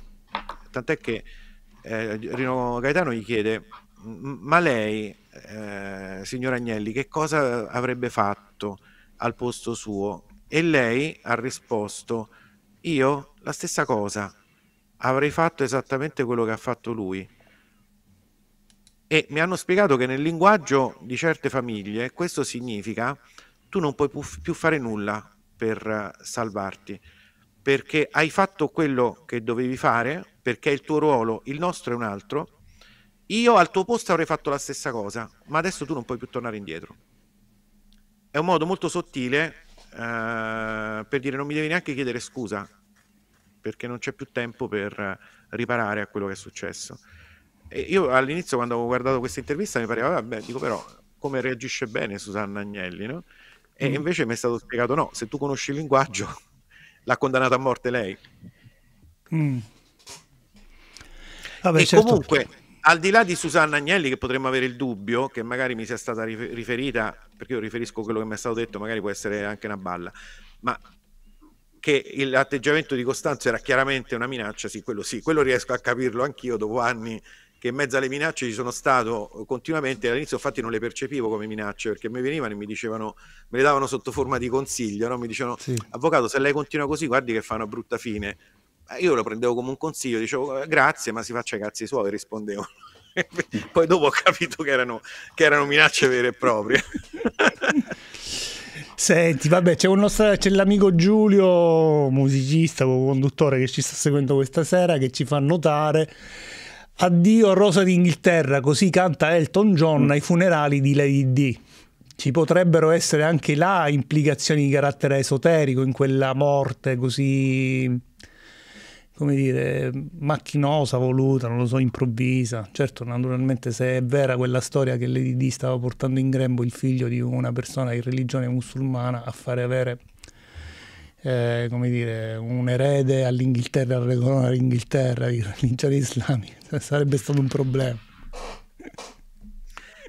Guarda, io non, la vicenda dell'EDD non è che l'ho studiata a fondo, ma sicuramente sì. c'è dell'esoterismo perché queste, questi, queste forze, questi apparati, sì. questi poteri non agiscono mai senza un qualcosa di esoterico eh, a fianco. Sì.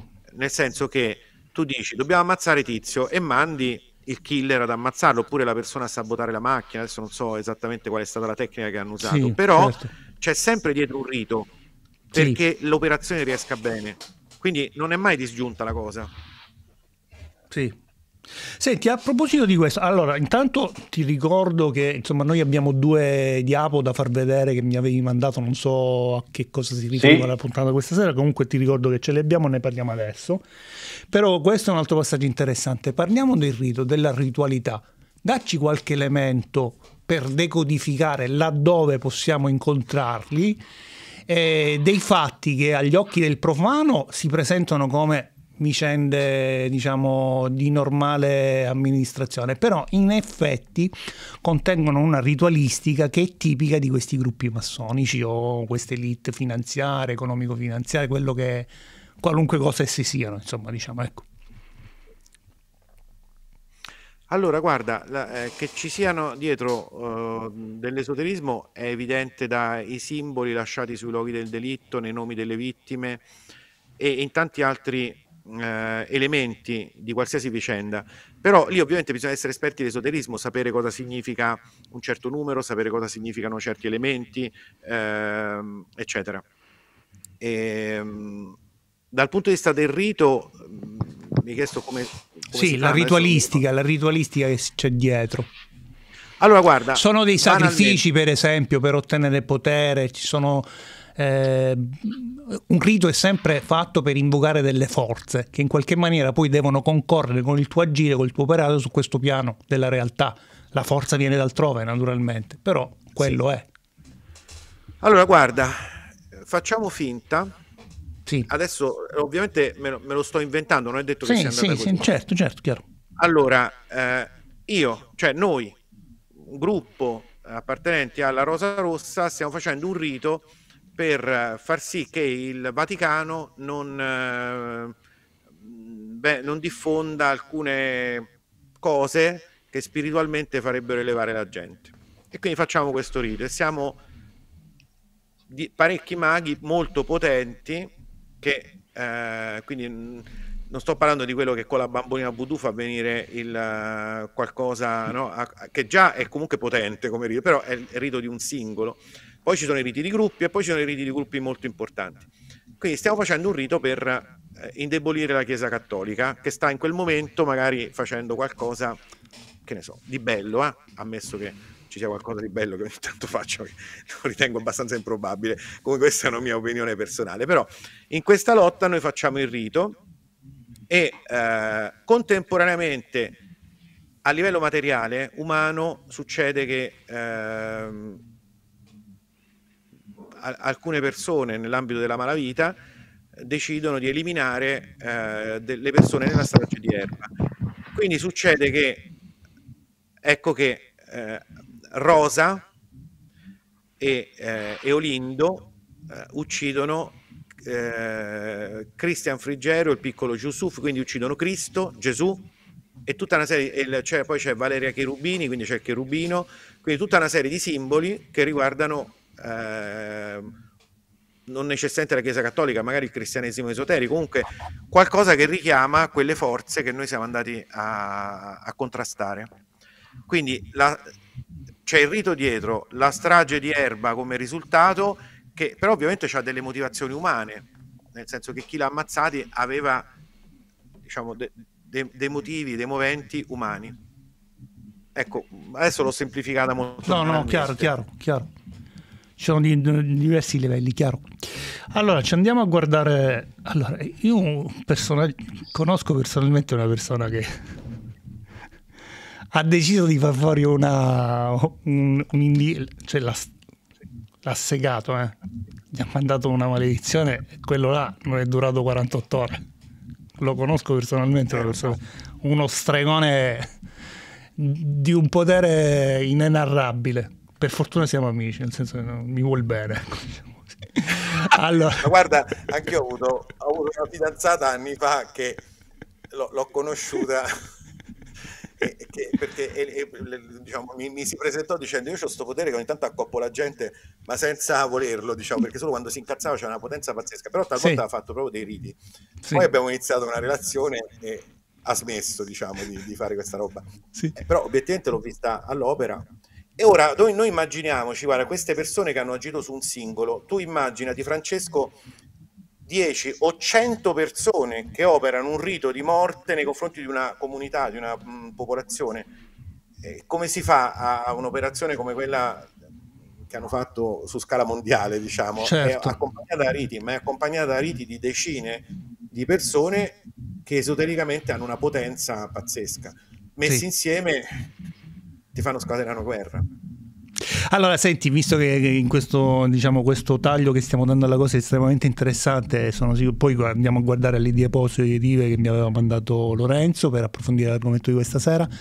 Ti ho ascoltato recentemente in una tua live dove facevi riferimento all'incontro, all'esperienza che avevi fatto con i mondi sottili di streghe, folletti, gnomi in qualche maniera eh, abbiamo sempre considerato mh, entità fiabesche, fantastiche e che però eh, eh, appunto non si tratta di credere ma si tratta di farne esperienza. Nel momento in cui fai esperienza poi quel mondo comincia anche ad appartenerti. Questo genere di energie, di forze, come concorrono a tutelare, se lo fanno, l'essere umano da rituali del tipo di cui ci hai parlato adesso. Mi sembra che insomma, come dire, in qualche maniera le energie si devono bilanciare nelle regole del contrappasso. Forse qualcuna di queste entità si può, uh, si può spendere per, uh, a tutela dell'essere umano. Tu che cosa ne sai a riguardo? No, molte, molte, si spendono a tutela dell'essere umano e molte si eh, spendono ovviamente contro l'essere umano. Sì. Ma eh, diciamo il mondo attorno a noi è animato da forze invisibili che sono gli spiriti dei morti, degli sì. antenati, quindi um, i cosiddetti fantasmi, e sì. poi angeli, demoni, e poi entità sì. varie. Malanga sì. ha i suoi addotti, cioè, c'ha, i suoi alieni che però sono forze. Vabbè. E ogni, ogni tradizione spirituale ha le sue classificazioni, li chiama in un certo modo. Sì. Quindi, per esempio, i demoni nel buddismo vengono chiamati gli spiriti affamati, sì. si nutrono di energie umane. Sì. Eh, Castaneda li chiama i voladores, ma sono I la voladores. stessa forza, le stesse energie chiamate in modo diverso. Ci sono in ogni eh, società c'è una parte della società, non tutta, che, che li vede. Quindi nel, in Sud America sono gli sciamani e certo. quelli che praticano certe pratiche. E il nome del nostro canale viene da lì, eh? il Bruco è l'uomo di conoscenza, lo sciamano della tradizione tolteca.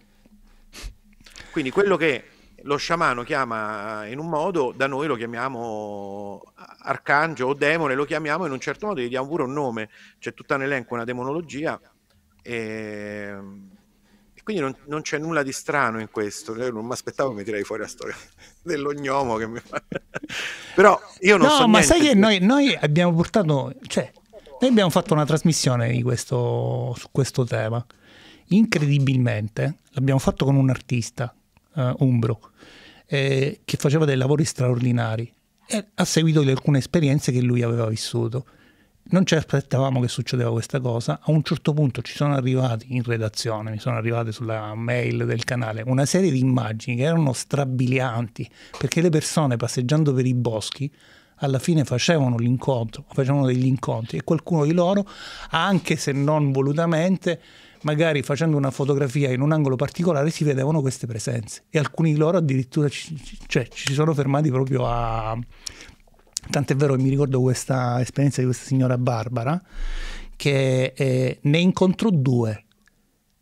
È una storia incredibile. Uno si accorse della presenza di Barbara che stava, gli stava raggiungendo e fece ognuno un folletto chiamano come vuoi, fece segno al compagno, guarda che ci sta arrivando una mano e che ci ha visto. Questo non se n'era accorto, cioè non aveva capito il segnale, lui ha continuato a passeggiare. E questo invece è saltato e si è nascosto dietro un cespuglio. Poi quando ha sentito il salto del cespuglio, anche l'altro si è girato, l'ha visto e a quel punto è saltato, ma lei ha visto tutta la scena era talmente articolata la descrizione che non poteva essere inventata, cioè era una cosa oggettivamente di una persona, poi io l'ho sentita per telefono che aveva fatto quel tipo di esperienza.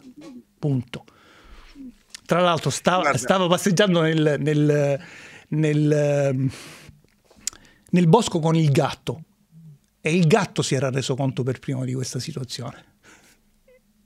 Guarda Francesco, eh, io ho fatto da poco, ho organizzato sì. insieme a una mia amica Strega, sì, sì, sì, sì l'ho, sent- l'ho sentito, ho organizzato questo convegno e eh, 100 persone, io, io, lì ho detto ma chi crede alle streghe, alle fate, gli gnomi? Oh, lì quasi 90 su 100 hanno alzato la mano. E c'era uno che ha detto di no. E mh, mm, una mia amica, anche lei, eh, posso definirla una strega, insomma, anche se ufficialmente è docente universitaria, che si chiama Manuela, ha detto una cosa giusta. Ha detto il Signore non ci crede perché non bisogna credere, bisogna fare esperienza e quella stessa esperienza, siccome noi non siamo pratici di queste forze e di questi esseri, diciamo. Quindi quando vediamo qualcosa di quel tipo, sì. lo possiamo chiamare in un altro modo. Magari certo. alcuni che sono fissati con gli alieni diranno oh, abbiamo visto un alieno, era basso, certo. era così. Certo. Eh, chi invece, come me, non ha mai visto niente, io una volta l'ho visto, ma perché la mia amica Giusima me l'ha fatto vedere, mi ha portato e mi ci ha fatto parlare e io poi ho avuto dei dubbi, ma dico, ma davvero ho parlato con un ognomo? Cioè, mi sentivo matto, no? Quindi ho inviato, a, anche se obiettivamente questo soggetto era troppo strano per essere considerato un essere umano, e, e, ho, ho, inviato mh, tanti messaggi WhatsApp a, a, tutte le mie amiche streghe che mi hanno detto, ma sì, certo Paolo, e mi hanno mandato tutta una serie di foto in più sì. ho raccontato, ho raccontato che eh, un mio amico con cui faccio, aveva fatto la stessa esperienza il giorno prima, anche lui non crede, non ha mai visto, cioè non è che non crede, non ha mai visto una cosa del genere, gli era capitata la stessa esperienza lo stesso giorno. Insomma, questa mia amica ha detto una cosa giusta, quindi bisogna vedere nell'esperienza lui avrà incontrato queste cose e come l'ha chiamata. Sì. Perché sì, magari sì, l'ha chiamata in un altro modo, però magari l'ha vista. Sì, la nomenclatura è in funzione del nostro background è lì che assegniamo eh, esatto. la, il ruolo etichettiamo quella determinata esperienza in funzione di quello che abbiamo acquisito, certo, chiaro. Allora, ci andiamo a vedere queste due diapositive. Sì, allora, io... fra... Fra, sì. un attimo perché ho... Mh, eh, allora, innanzitutto su questa cosa qui sì. eh, ti dico che eh, ti ricordi l'audiobruco del Foco Tonal, no? Certo, certo, ecco, Al Foco Tonal in Messico Connector c'è una sovrapposizione dimensionale. Chi a novembre andrà in Messico Connector vedrà che al Foco Tonal, oltre a vivere quell'esperienza energetica incredibile, Hector mostrerà immagini, c'è anche caso di vederli, dove questa sovrapposizione dimensionale mostra queste entità dei mondi, delle frequenze elementali, cioè eh, immagini di, delle specie di trilli campanellino, fatine, eh, piccoli gnomi, ma sono personaggi che abitano quel luogo in un'altra frequenza e hanno pure i nomi, cioè veramente incredibile questa cosa qui. Poi, sì. tornando alla ritualistica, Ehm, quando diciamo facevo un paio d'anni fa il chiacchierone nel TG giornaliero della, della TV, no? di TVB85, eh, mi ricordo che per via di questa cosa della ritualistica esoterica predissi la vittoria dell'Italia eh, agli europei. Ma perché? Perché dopo quello che stava accadendo, una vittoria a Sanremo di quei ragazzi che ora sono un fenomeno mondiale con una canzone zitti e buoni e guarda caso eravamo obbligati a indossare la museruola, no? Dopodiché vincono pure l'Eurovision e sta a vedere che l'Italia vince gli europei e dopo gli europei c'è stata una valanga di medaglie alle Olimpiadi. Quando mai un italiano ha vinto i 100 metri? Sì. Cioè lì ci deve essere un qualcosa, ci deve essere stato un qualcosa di magico perché anche la partita, la finale con l'Inghilterra, ehm, non, non, non, aveva, tra virgolette, degli aspetti per la quale potesse sembrare venduta. No, eh, era proprio una sorta di magia perché il primo gol dell'Inghilterra fu al volo, quindi una, un cross dalla tre quarti con il sinistro al volo del terzino inglese. Quindi lì c'era qualcosa di questo tipo qua e voglio chiedere a Paolo se condivide questo ragionamento e poi di quella figura che secondo me è stata fatta vedere appositamente, che durante il giorno dell'incoronazione di Re Carlo, ah, allora Re Carlo sì, è sì. stato incoronato il 5 Sommando i numeri alla maniera numerologica, cioè ogni singolo numero viene 18, guarda caso 666 ed erano sei mesi, sei giorni e adesso comunque c'era anche un altro sei dalla morte della regina. Cioè, oramai per chi è entrato in questa consapevolezza sono quasi noiosi, è sempre quello, cioè, ce lo dicono in una maniera eh, pazzesca. E se trovi l'immagine su sì, Google sì, di questa figura... Sì, sì, sì, la, guarda, me l'hanno inviata, te la, la sto ecco, rinviando anch'io a me viene l'idea di un sacerdote nero sì. che prima dell'incoronazione pubblica ecco, ha, ha, ha, fatto qualcosa assieme a, ai due protagonisti. Paolo. Ma mm, no, non ho capito la domanda. Pensavo, avevo capito che mandavate un'immagine, io dovevo.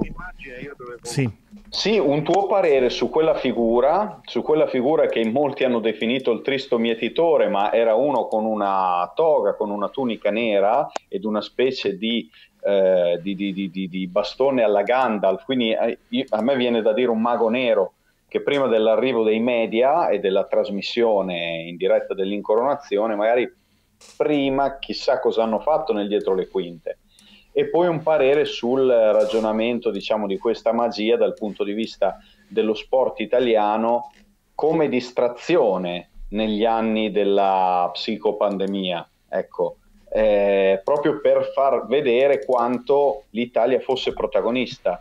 Tra l'altro una mia amica medium di Firenze, Paola Mori, mi fece notare una cosa, ma guarda il nome della cittadina qua in Italia da cui partì tutto, Codogno lei ebbe questa rivelazione tramite una canalizzazione.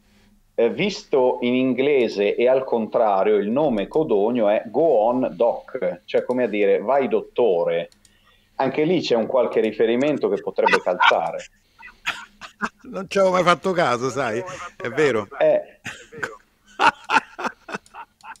Scusate se rido, ma cioè, guarda, delle volte nel simbolismo, di, mh, sì. anche nei nomi, cioè, veramente c'è da, da, da, ridere. Manganelli, capo della polizia, eh, no? che manganellava, infatti è stato poi eh, inquisito per i fatti del G8 perché aveva manganellato le persone, no? Ecco, proprio nome e nome.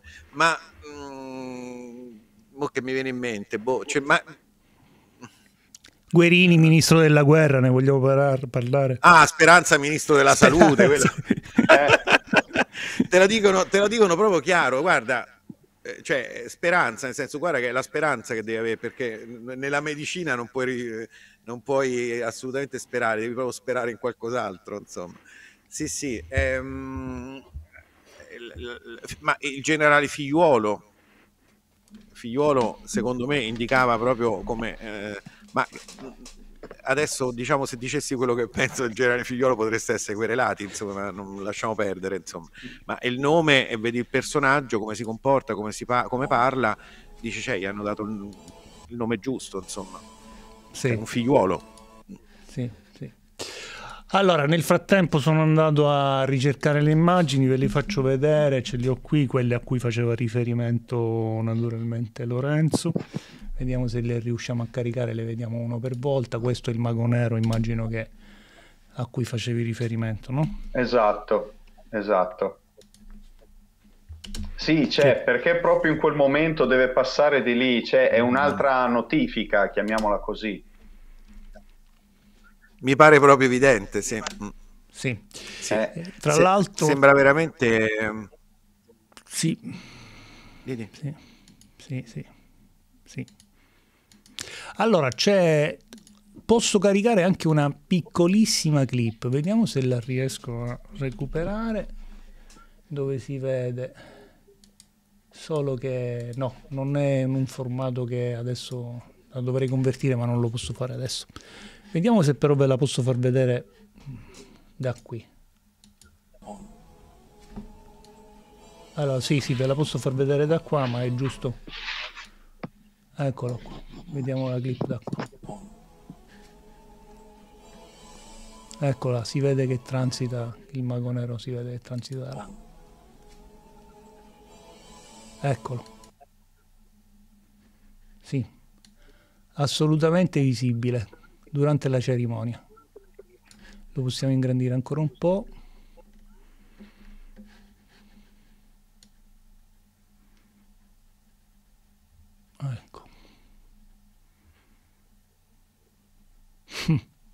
interessante questa cosa. Mamma mia, mamma mia. Sì, che poi queste cose, vedi, noi le vediamo perché quando ti abitui a vedere i simboli ti abitui a vederli sempre di più. Sì. La maggior parte della gente non ci farà mai caso. Eh, come non fa caso ai simboli sui luoghi dei delitti o in altre cose, insomma. Sì, sì, chiaro.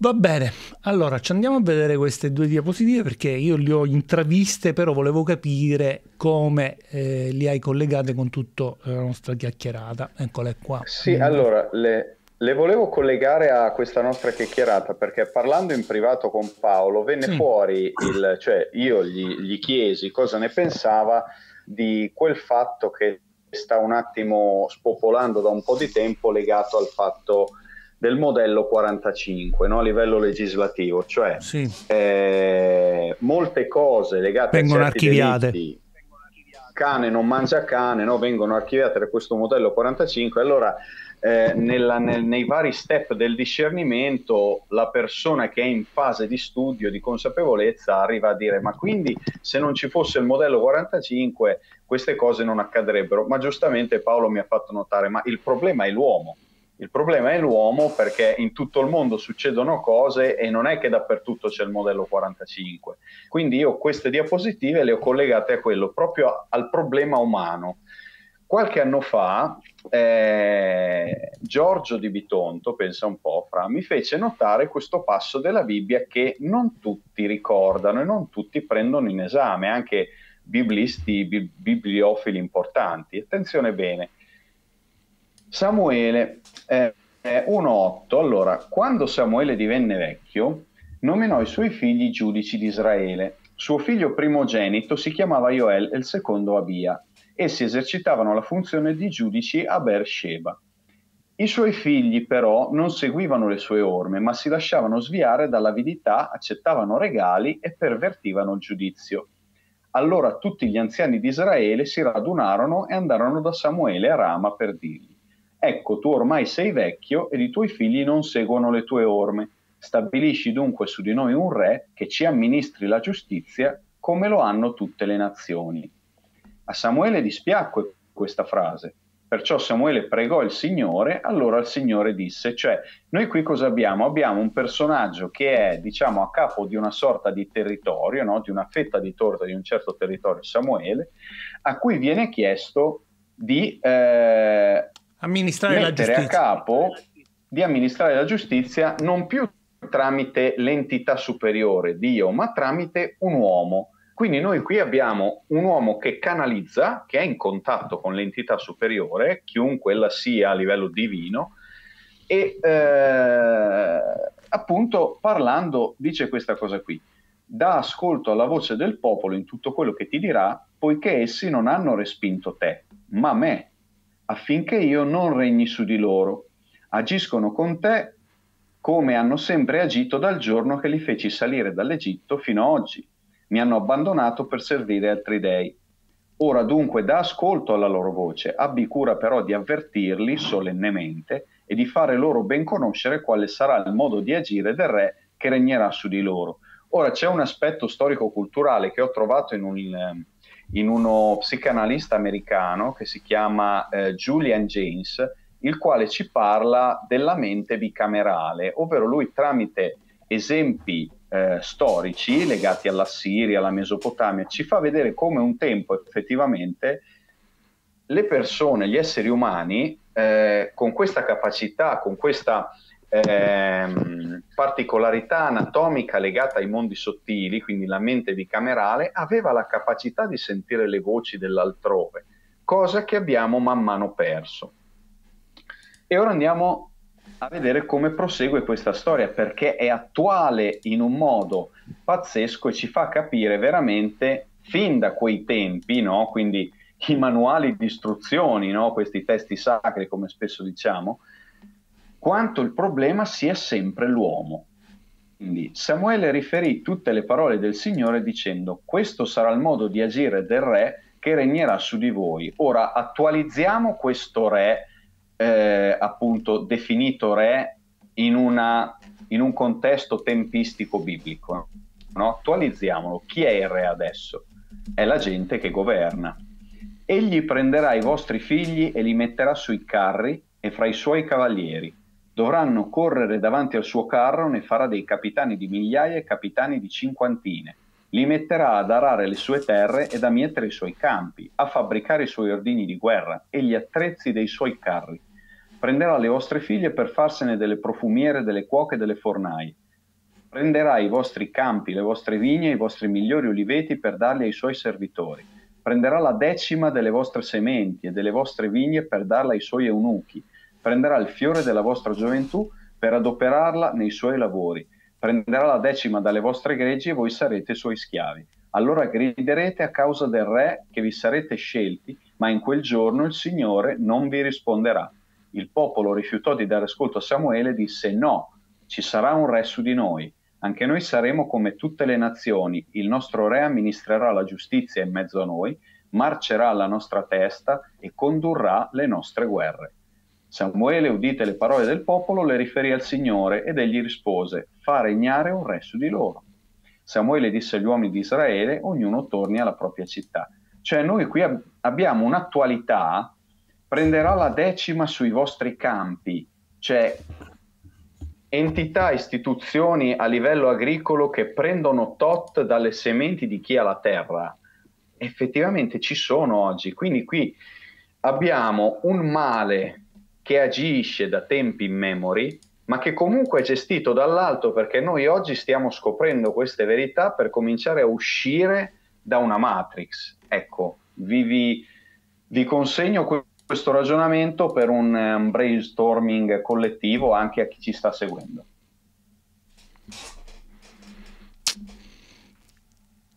Io non ho molto da aggiungere a questa cosa. Sento un eco che prima non c'era, eh, perché hai alzato molto il volume del telefonino, sì, perché dovete sapere che Lorenzo ci sta seguendo attraverso l'audio del telefonino, va bene. Adesso va bene, adesso è perfetto. Ok. Ecco. Vai. Paolo, a te, se hai qualcosa da aggiungere su questo passo. Guarda, direi che quello che hai detto può andare in conclusione di tutto ciò che abbiamo detto perché effettivamente è, è, è come stanno le cose ancora oggi e come abbiamo detto prima non è che adesso la situazione è diversa da mille anni fa o duemila anni fa, c'è sempre una lotta tra poteri e una lotta per tenere le masse all'oscuro di certe verità. Solo che nel Medioevo era facile, erano tutti analfabeti. Oggi, per carità, non è che ci sia questo grado di alfabetizzazione straordinario, però comunque chi vuole può eh, informarsi, evolvere, eccetera. E quindi eh, c'è, c'è questo, questa compattezza del male per essere diffuso ovunque, che però è appunto il suo lavoro. E la storia si ripete sempre, sia pure con forme diverse. Insomma. Sì. Eh sì. Allora, io, io, ho ascoltato un po' anche di messaggi che sono arrivati dai nostri amici, se volete vediamo qualche domanda, qualche audio messaggio che è arrivato. Tra l'altro a questo punto volevo ricordare a quanti ci stanno seguendo da casa che potete intervenire al 353 35 6 15 604 mandandoci un audio messaggio, un video messaggio, oppure gli amici che sono collegati attraverso la nostra piattaforma di Telegram eh, possono alzare insomma, la mano, prenotarsi, vi accende il microfono e vi sentiamo in live. Eh, questa sera abbiamo fatto l'esperimento e sta funzionando, mm, anzi mi pare che insomma, non, non abbiamo avuto modo prima di dirlo. Eh, per uh, una serie di, di vicissitudini tecniche, però siamo in multi-streaming, è un'altra, um, diciamo, un altro anello che si aggiunge alla nostra catena. Questa sera siamo in multi-streaming anche sul canale di Lorenzo Vivo Piccini, quindi eh, si aggiungono componenti a questa idea di format che stiamo strutturando con i tanti amici che ne fanno parte. Grazie Lorenzo naturalmente per darci questa possibilità. Eh, Grazie a te Fra. Ok. Allora, vi faccio sentire qualche... È arrivato un audio, secondo me interessante, anche perché abbiamo portato sul canale, e lo porteremo eh, più avanti, anche il dottor Carlo Palermo, però mi hai fatto ricordare naturalmente Paolo eh, nelle cose che ci siamo detti all'inizio, noi abbiamo avuto una sera ospite, eh, Paolo Rumor, eh, l'altra Europa, e lì diciamo si prospettava qualcosa di molto molto lontano dall'idea che abbiamo noi di governo dei popoli che sta dietro tutto quello che noi possiamo immaginare. Insomma, chi comanda sono, sono ben altre le forze. E, ehm, questo spettatore che ci ha seguito, uh, beh, ce lo andiamo ad ascoltare, mi monitoro anch'io un attimo l'audio perché sto facendo una fatica per tenere, per non convogliare gli audio questa sera da diverse fonti. Ecco, dovrei adesso sentirlo senza interferire, ce ne andiamo qui, perfetto, vediamo se riuscite a sentirlo. Ciao Francesco, buonasera a tutti, sono Emanuele, vi scrivo dagli Stati Uniti. Volevo sapere se tutti questi eh, casi sono comunque correlati a un discorso che il dottor Carlo Palermo uh, faceva in, nel libro bestia, uh, bellissimo libro che ho letto. Grazie e buonasera a tutti. Sì, sono curioso anch'io di questa cosa perché il dottor Carlo Palermo, come sai, ha scritto quel libro che faceva riferimento soprattutto a quella loggia di Erice, se non ricordo male, quella loggia massonica di Erice in qualche maniera. Eh, era eh, dietro una eh, incredibile sfilza di delitti, diciamo, e di mandanti. Eh, si possono fare questo tipo di... è plausibile l'ipotesi che ci fa questo nostro amico? Sì, sì, assolutamente. Eh, Carlo Palermo ha scritto diversi libri negli sì. anni in cui ha fatto, come è normale che sia per tutti, una evoluzione sì. nella sua ricerca. Quindi lui è partito dal libro L'attentato, sì. cui descriveva già come c'erano comunque poteri occulti dietro all'attentato, quello coinvolse ehm, in Sicilia, eh, la cosiddetta strage di Pizzolungo, no? dove lui si salvò la vita per miracolo. Sì. Eh, poi però eh, successivamente ha capito che dietro alla mafia eh, politica, eccetera, ci sono le cosiddette massonerie deviate e poi sempre più, sempre più è arrivato a, appunto a, eh, anche all'ordine della Rosa Rossa e alle cose a cui sono arrivato io, insomma. Con sì. gli anni ha, ha, unito i fili, solo che lui li ha uniti dal punto di vista dei documenti processuali delle persone, sì. a, a, quindi non, non, è partito, eh, io sono partito da, dal simbolismo, dall'esoterismo, dalle connessioni magiche, diciamo così, lui è partito dal basso ed è partito da... Um, no, in realtà anch'io sono partito dal basso, perché sono partito dalla dinamica dei delitti che non mi quadravano, ma eh, lui ha fatto de- tutta una serie di collegamenti mh, di, storici dal punto di vista giudiziario e quindi um, però il, suo discorso si salda perfettamente con quello che faccio io. Sì. Lorenzo, hai visto qualche domanda che vorresti sottoporre all'attenzione del nostro ospite questa sera tra le tante Ma, che ne sono arrivate? Mi, mi, viene in mente un collegamento che potrebbe essere eh, un qualcosa di karmico, perché adesso non, non vorrei dire uno strafalcione, ma Carlo Palermo fu la persona che ehm, diciamo firmò il mandato di cattura sì. per Rolando Pelizza. Sì, sì. E sì. quindi secondo me questo è come eh, un qualcosa facente parte del suo cammino per eh, compensare io lo chiamo errore, quell'errore, sì. eh, perché sì, quello fu, cioè Pelizza eh, l'abbiamo scoperto sì. anche tramite le, le, mie, le tue dirette, eccetera, è, è, stato l'uomo che costruì la teoria della macchina di Majorana, quindi sì. eh, Palermo si è ritrovato da far arrestare un personaggio del genere per poi cominciare Vabbè, con gli elementi che aveva in quel momento sotto mano, probabilmente eh, non poteva fare diversamente da così.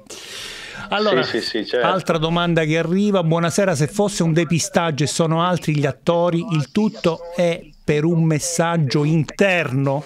A queste immagino si riferisca alla spettatrice che ci sta guardando in questo interno per depistare far prendere paura noi comuni mortali e prendere di più di un ordine che ci gestisce come marionette. Ciao Francesco grazie Franceschetti. Io direi tutte queste cose insieme. Eh, certo, perché... Uh, cioè, è, è, tutto insieme, non è che c'è una spiegazione che esclude l'altra, c'è, c'è tutto e c'è altro, tra l'altro, non, è, non c'è solo questo, ma ci sono anche altre motivazioni. Sì, chiaro. Molte magari ancora non sono neanche riuscite, cioè non sono balzate neanche alla nostra attenzione, c'è qualcosa che ancora magari ci sfugge. A proposito, tu certo. rispetto a tutto questo lavoro, credi di aver eh, decodificato dire, buona parte di quello che si muove dietro questi gruppi o secondo te ci sono ancora degli aspetti che vanno talmente al di là che non, non è possibile per noi decodificarli? Beh, talmente al di là no, ci sono degli aspetti che vanno al di là sicuramente, io non ho, non ho decodificato tutto, io ho solo dato una serie di elementi per perché la gente si capisse che, c'è, capisse che c'è qualcosa al di sopra di quello che noi vediamo. Ma ce ne sono sicuramente altri e al di sopra capire tutto quello che c'è al di sopra non è possibile perché è capire il disegno divino. Sì. E quindi solo un, illumina- solo un illuminato potrebbe veramente capire cosa c'è dietro. O un iniziato dentro questo tipo di meccanismi? Un iniziato no, perché l'iniziato è sicuramente una persona che sa più cose degli altri che vede e sa tante cose certamente, però bisogna vedere che, che tipo di che grado di iniziazione ha. Sì. Quando è al, arrivato al massimo dell'iniziazione, quindi quando uno Yogananda, uno Steiner, un, um, un personaggio di questo tipo, certo, la verità la sa, però come eh, si dice spesso, chi sa la verità tace. Sì. In realtà è, è inspiegabile alle masse. Sì. Ma anche, è spiegabile anche alle persone come me e come voi che riusciamo a capire qualcosa, ma qualcosa, ma mh, mm, il totale eh, ci sfugge. Senti, ti sei fatto un'idea, se prima avevi accennato che insomma alla fine queste mh, mm, logge sono mosse da potentati economici. Eh, sono solo questi o mh, mm, ci sono forze di altro tipo come possono essere magari alti prelati? Eh, ma gli alti prelati sono comunque eh, spesso hanno degli interessi economici, poi hanno degli interessi personali, poi hanno degli interessi esoterici, ci sono vari interessi. Quello economico eh, se ne parla perché è quello più facile da vedere, cioè è evidente per esempio gli interessi economici che sono stati mossi dietro a tutta la farsa della pandemia, non solo da parte delle multinazionali, no? ma anche degli stati per rimodellare l'economia degli stati, perché hanno eh, accelerato un, um, dal punto di vista economico, hanno accelerato la distruzione economica dell'Italia, che già era in atto, però gli hanno dato una bella, una bella impennata, insomma. Va bene, io mm, ci siamo fatti una bella, lunga e proficua chiacchierata. Spero vivamente che tu voglia ritornare a farci visita su questo format, magari quando hai elementi che ritieni utili far conoscere e ti è balzata agli occhi qualche altra cosa che merita di essere attenzionata, studiata e compresa dal punto di vista esoterico. Perché ormai di fatti, come in Italia, ne, di questo genere ne accadono un giorno per l'altro, se così possiamo dire eh, sono quasi quotidiani e ricadono perfettamente all'interno di quelli che sono i nostri range di attenzione. Lorenzo. Sì, un'ultima, un'ultima domanda barra ragionamento da sottoporre a Paolo per chiudere il cerchio e comprendere il tutto. No? Eh, abbiamo visto che partendo dal delitto Manson c'è stato il sacrificio di una donna con un nome ben chiaro che Paolo ha collegato al Cantico dei Cantici, e eh, una gestazione di otto mesi in sacrificio del successo di Rosemary's Baby dove nel film veniva alla luce il figlio dell'anticristo. Ora, su questa falsa riga possiamo definire eh, anche i delitti odierni come eh, tutti una sorta di sacrificio per smuovere energie di potere che portino alla, alla, mm, alla, alla possessione di materia da parte di chi li attua. Quindi se questo è il senso, ovviamente quando i media incolpano un derelitto della società, ecco che alle spalle c'è sempre qualcuno che riesce a muovere questo potere, questa materia, perché la gente comune, la gente come noi non se ne fa niente di quella materia, non ci pensa, non gli interessa. Sono quelli che già stanno lì che ne vogliono di più può essere un ragionamento giusto per chiudere il cerchio. Ma allora guarda, ehm, sì è giusto, però bisogna fare una precisazione. La materia è sempre il riflesso dello spirito, tutta la materia. Non esiste una materia che è mossa dall'esoterismo e la materia no. E a livello dello spirito ci sono varie battaglie esoteriche, varie confraternite esoteriche, bianche, nere, varie entità, demoni, angeli, e poi mh, tan- tante forze sopra la materia che l'esoterista va, va, a conoscere, ma tutta la materia è mossa dallo spirito, diciamo. E tra l'altro possiamo anche dire che a queste forze esoteriche non gli interessa la materia, perché loro la creano come vogliono e ci fanno quello che vogliono, non gli interessa eh, distruggere l'economia italiana perché loro diventano più ricchi. Che gli frega, sono straricchi, possono comprare dal punto di vista ehm, diciamo economico-contabile, hanno un bilancio che possono comprare quasi tutta la terra. E allora perché è questo? Perché è una lotta di anime, è una lotta spirituale. Sì, sì, sì. La materia è lo strumento con cui ti ingabbiano sì. nello spirito. Sì. Alla fine la cosa che gli conta, la cosa che per loro conta è proprio quella, l'anima. Sì, io mi chiedo come, cioè, non deve essere stato facile, adesso stavo, che hai fatto questo passaggio, non deve essere stato facile per una persona come te partire, passare da un approccio, diciamo, fisico, materialistico a un, a un approccio metafisico e spirituale della vita. No, io l'approccio metafisico in realtà l'ho sempre avuto. Ah. Diciamo che quando mi sono imbattuto in questi fenomeni ho dovuto aumentare la parte spirituale perché sennò impazzisci praticamente certo, e sì, non riesci a reggere dentro questi contesti. Sì. Quindi per ogni male che vedevo vedevo il bene. Per esempio abbiamo parlato di Carlo Palermo, io ho pubblicato sì. sul mio sito Sì. Lo facciamo vedere, lo facciamo eh, vedere.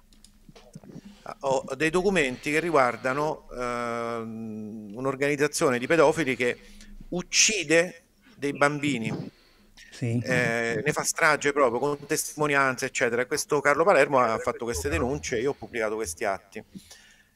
Ehm, è talmente terribile che mi ricordo un mio amico assolutamente ateo che quando li lesse, un mio amico avvocato, disse Paolo, io ho capito che esiste Dio e, e io ho detto perché? E lui disse perché se questo è l'inferno e uh, una cosa del genere non me la potevo neanche immaginare. Quindi vuol dire che però da qualche parte c'è Dio, perché se esiste il demonio esiste anche Dio. E il ragionamento mi colpì molto da parte di uno che appunto era ateo, molto scientista e materialista, e di fronte a queste testimonianze però rimase raggelato e, e anch'io mm, sono rimasto sconvolto e ho dovuto però approfondire la parte spirituale. Quindi, poi, dopodiché, poi una volta che capisci che la materia è tutta una, una, una truffa, diciamo, e sì. ti prendono per il culo. Quindi ho lasciato tranquillamente il processo e la parte giudiziaria e mi occupo di altro e solo di altro. Ma tanto, tanto per dire quanto io do importanza al processo. Quando sono stato a processo con Mario Spezzi, che avevo, io avevo accusato lui di essere il mostro di Firenze, ci avevo scritto una, degli articoli, e lui mi querelò. Ma io non mi sono proprio difeso al processo, perché mi sono difeso con strumenti esoterici. Mm. E infatti mi è andata bene. cioè, io, cioè fu un'udienza che io dissi al mio avvocato di non presentarsi, non si presentò, quindi nominarono un avvocato d'ufficio, io non mi presentai, spiazzai anche la controparte e dice come un processo così importante? Non si presenta. E quindi hanno rimandato l'udienza di un anno e, e, questo mi permise di andare alla prescrizione che era il mio obiettivo perché io ero pronto a dare battaglia avevo testimoni d'eccezione come Mignini e altri che venivano a testimoniare in mio favore se si apriva il processo. Però tanto poco me ne frega del processo che io eh, non mi presentai. Addirittura al mio avvocato e gli dissi senti ma io mi dichiaro colpevole mi faccio condannare e, finiamo, e chiudiamola qua perché non, non, non ci voglio proprio perdere tempo e lui mi disse: Ma, ma scherzi, poi ti condanno? Io ho detto: Eh, sti cazzi, ho una condanna. Su un, su un, pezzo di carta scriveranno che io sono colpevole, tanto mi danno i domiciliari oppure comunque mi daranno una condizionale, non, non mi daranno più di tre anni di pena. Quindi, dopo che ci ho scritto che io sono stato condannato a due anni con la condizionale, ma a me personalmente mi cambia qualcosa nella vita? No. E quindi, però, il mio avvocato si oppose, insomma, mi sono lasciato convincere e abbiamo fatto bene poi ad andare al processo perché, insomma, è finito bene per me. Bene. Va bene, abbiamo saputo un altro aneddoto molto interessante. Allora, grazie Paolo, grazie per questa serata. Per, personalmente l'ho trovata estremamente ricca eh, di, di, spunti di riflessione che mi ha permesso anche di inquadrare meglio una serie di elementi che avevo in mente ma che tu hai perfettamente incasellato. Grazie Lorenzo, noi quando ci vediamo alla prossima, quando l'hai messa in campo, che non me lo ricordo più sul calendario? Eh, direi, direi fine, fine, agosto, fine agosto, con al- altre persone legate a okay. Satya Sai Baba che hanno okay. vissuto là e cose Vabbè. splendide. Allora, prima di salutarci vi ricordo che domani è il pomeriggio, so, domani facciamo un appuntamento solo nel pomeriggio alle 18, parleremo sicuramente di qualcosa di molto più leggero di quanto abbiamo fatto questa sera, viene a trovarci Simona Ruscitto, non lo prendete sotto gamba, questo sembra, è non sembra, è un libro per bambini, ma è un libro per bambini iniziatico. Questo ve lo posso dire che l'ho letto e ci faremo raccontare da Simona domani come l'ha avuto, come ci è arrivata, come l'ha scritto, perché e soprattutto a che cosa, a quali bambini serve, eh? non a tutti, a quali bambini serve. Bene, ci vediamo alle 18, come al solito ci lasciamo il nostro grido di battaglia, grazie Paolo, grazie Lorenzo, siate guerrieri e restate guardinghi, sempre. Ole, alla prossima, buonanotte, ciao.